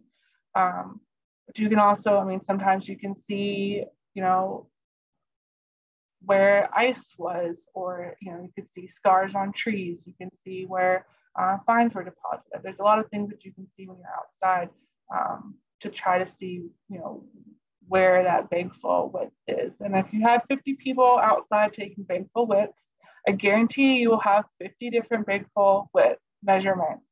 Um, people might even disagree down to the inch just because they want to be right. But that's just bankfull widths are, are they are they're critical, but they're difficult.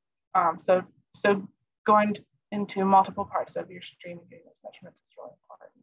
Um, and then, I mean, the water line for me is really, you know, you have your top of bank and then, you know, where the water is starting at your time of survey. And some of those profiles I showed you there really had the water depth going down through there. And so that's more just for your survey um, to indicate where that is. But I'll let Alex follow up on that. Oh, thanks. I don't know it's great, Heidi. I would agree with all of that. I think that bank full width question is certainly always a big one, and that's why we take so many of them, right, and average them, hopefully, so that you come out with some better sense of overall for the particular site. I would speak, uh, I guess I'll speak spe specifically to the cross-section question. Um, we typically take one uh, representative cross-section upstream of the crossing and one downstream. That's kind of our normal run of things, and that's partly because we have a pretty good sense of reading the topography, the, the stream morphology, and so have a good sense of where to do those. It's really important, of course, when you get back to the office and you're doing design work, that those cross sections you've taken are pretty good representations of the kind of uh, either the same as where you're going to be replacing the crossing, or at least on two different ends of the spectrum so that you can kind of match between um, a slightly steeper upstream section and a slightly less steep downstream section. That really the slope needs to match, the character needs to generally match. So um, you need to be a little bit careful about where you pick to do those cross sections. And that's why one of the great processes of scoping out a site is to do, take a bunch of bankfull width measurements and start to read the stream. And then as you're doing that, uh, and maybe even start your stream profile, then you'll get a sense as you move along where the best, perhaps most representative sites uh, within that profile are to do those cross sections. Thanks, Alex. And of course, that scoping piece is really important because you need to have a general idea of your bankfull to figure out how far up and down you're going to go. So you're, you're going to want to be keeping, training your eye to that as you're scoping out your entire um, stream system to get that uh, information. Um, great question on water diversion, which I know is a topic that can be difficult sometimes. Do you need to divert water when installing an open bottom culvert or bridge? And this may be, a, it depends. I don't know if anyone wants to jump in with some exciting examples. I mean, sometimes it's so dry, you know, we're in a, you know, we've been in a drought cycle. So sometimes there's not any water um, during that low flow season that we're actually doing construction. Um, but we're not usually that lucky. So you have to have those contingency plans in place to keep clean water clean and dirty water go somewhere else. I would add, yeah, I think I've had several good examples of sites that where, where we had no water. We felt really lucky that there was virtually no water there, so it made our lives really easy. But uh, construction takes a week or two weeks, uh, in my case sometimes, and uh, rain came, as it so often does. And so you absolutely have to have those pumps on hand, the pump, the backup pumps available, the all the setup that you planned for needs to be there. Uh, you cannot count on having a dry site. There's just no way you can do that. So you really need to have those plans in place.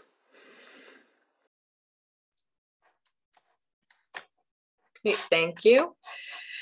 Um, an interesting question, is there a velocity range, a specific velocity range that you're looking for that's appropriate for aquatic organism passage? any of the fish bios or other wildlife biologists out there.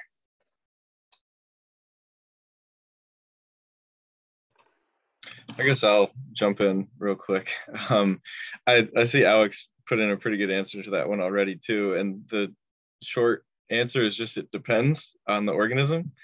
Um, fish are a lot, you know, better at getting up a stream than an insect or an invertebrate or something like that. But it's also worth remembering that even within fish, um, you know, it, it, can depend on the different life stages. Um, I, I've seen a lot of studies that for juvenile salmonids, like a brook trout or a salmon, you know, flows down to one CFS or half a CFS can sometimes be an impediment. So it, it can be pretty low. Um, so it really it just it depends on what's present and um, you know just the type of the, the crossing that we're dealing And I want to, I want to add that. Thanks, Nick. I think that's great. I don't know enough about the needs of so many individual species. I think what I was curious about in thinking through that answer that I gave uh, in the Q&A was thinking about what I do as a designer um, to try to think about velocity. And that's really about the big storms and the scour that comes with those big storms. And when I see the models that we run to look at the hydraulic uh, capacity and the hydraulic uh, dynamics of our planned stream crossings, I am always happy that the kind of velocities we're looking at may not be great for fish passage or may not, certainly not, may not be good for a number of other aquatic organisms. But it's important for folks to know that critters are generally not trying to move during those storms. They are simply trying to survive. They're trying to hunker down and hold on uh, and wait for it to pass.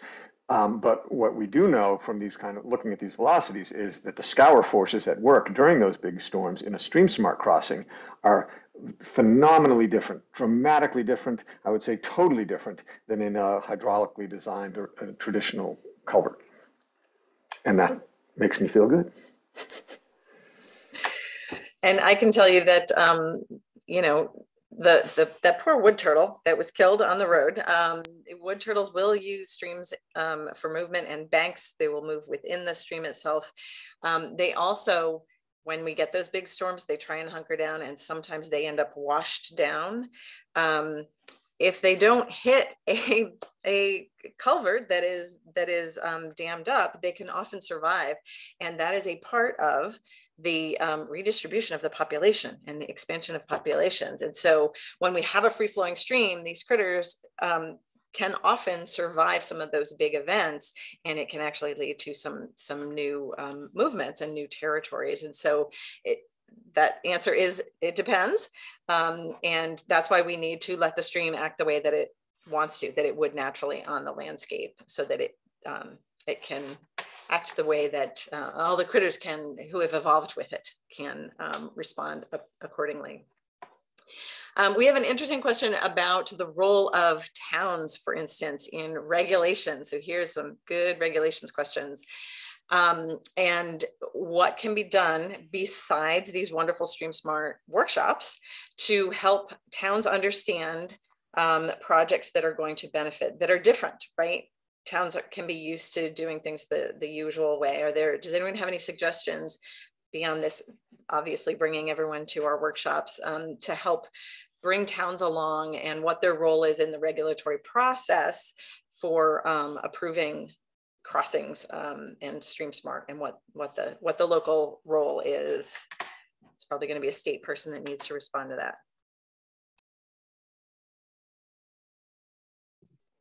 I'll, I'll offer a quick one. Money usually helps. I was just going to say. Excellent answers. um, any other suggestions on, obviously, my recommendation is always to send them to our trainings, send them to us. We can provide um, materials and resources.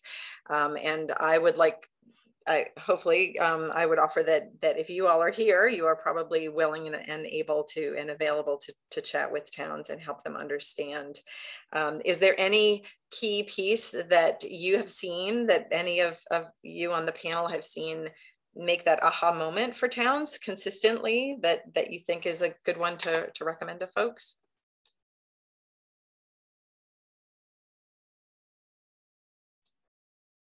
Well, it's just as Zach mentioned with regards to looking at towns that have used previous um, or that have previously installed Stream Smart Crossings and using them as examples, um, there are a ton of examples that you can share with your select board or otherwise and showing how these crossings have not only um, improved safety for the towns, the people there, um, have enabled commercial businesses to stay open more and things like that, but have also saved the town's money in the long run, as Sarah mentioned before.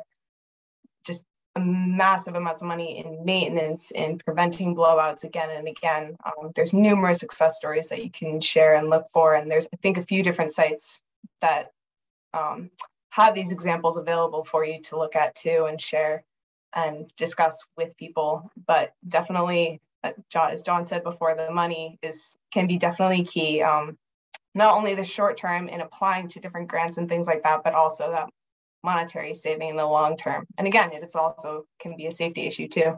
So. And I would not shy away from. I mean, I love the the money idea, and in fact, I, I can't believe. Well, I guess I believe there's still towns in Maine who don't realize what a fantastic program the DEP has to help them, uh, and how relatively easy it is to to apply. Um, so I hope towns that uh, haven't really explored that will can, will think about that if they're listening and watching. Um, but I would never shy away from the long-term financial benefits of StreamSmart. I think you laid it out, Sarah. It is absolutely true, and so uh, I would make that this a purely financial argument to the town, uh, to the selectmen, that this is absolutely to the benefit of the town in the long run in terms of diminishing maintenance costs and replacement costs. Absolutely, Reg uh, regardless of the other uh, wonderful benefits that Stream Smart Crossings give.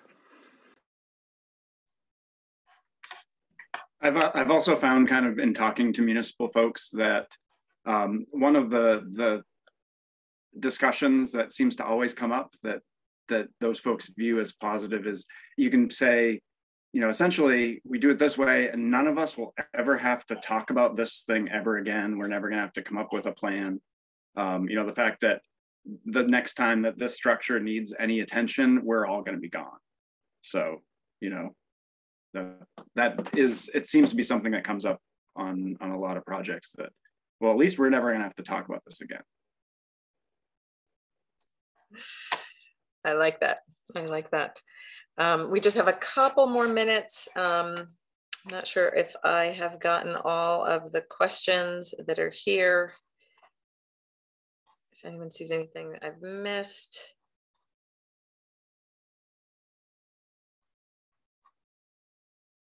And otherwise, I don't know if any folks any of the panelists have questions for each other because I know that there were a couple of back and forths with different uh, between different panelists. Does anyone want to share any of those uh, back and forths or questions? Go ahead, Tom.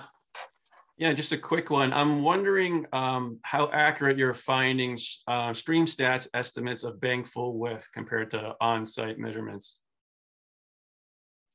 Go, Alex.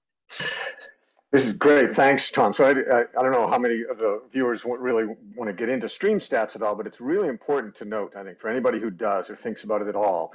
So this is hydrology. This is how much water we expect to come to a site uh, given its drainage area and some other characteristics that, that USGS StreamStats um, gives us. And this USGS works really hard to try to evaluate and study these things and come up with better estimates. It's all statistics, basically, uh, or a lot of it is statistics.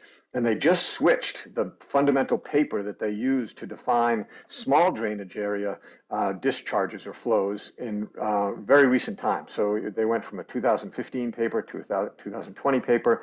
And I found on sites that didn't have a lot of wetlands upstream that it really changed the estimates and really gave a lot more uh, higher flows coming down. And so that made me totally change my design work. At the same time, They've also added a lot more estimates of bank full width. Unfortunately, the range of estimates that they give are just gigantic. They'll go for a for a small, relatively small stream. They'll say, well, it could be six feet, could be 20. Can't tell you.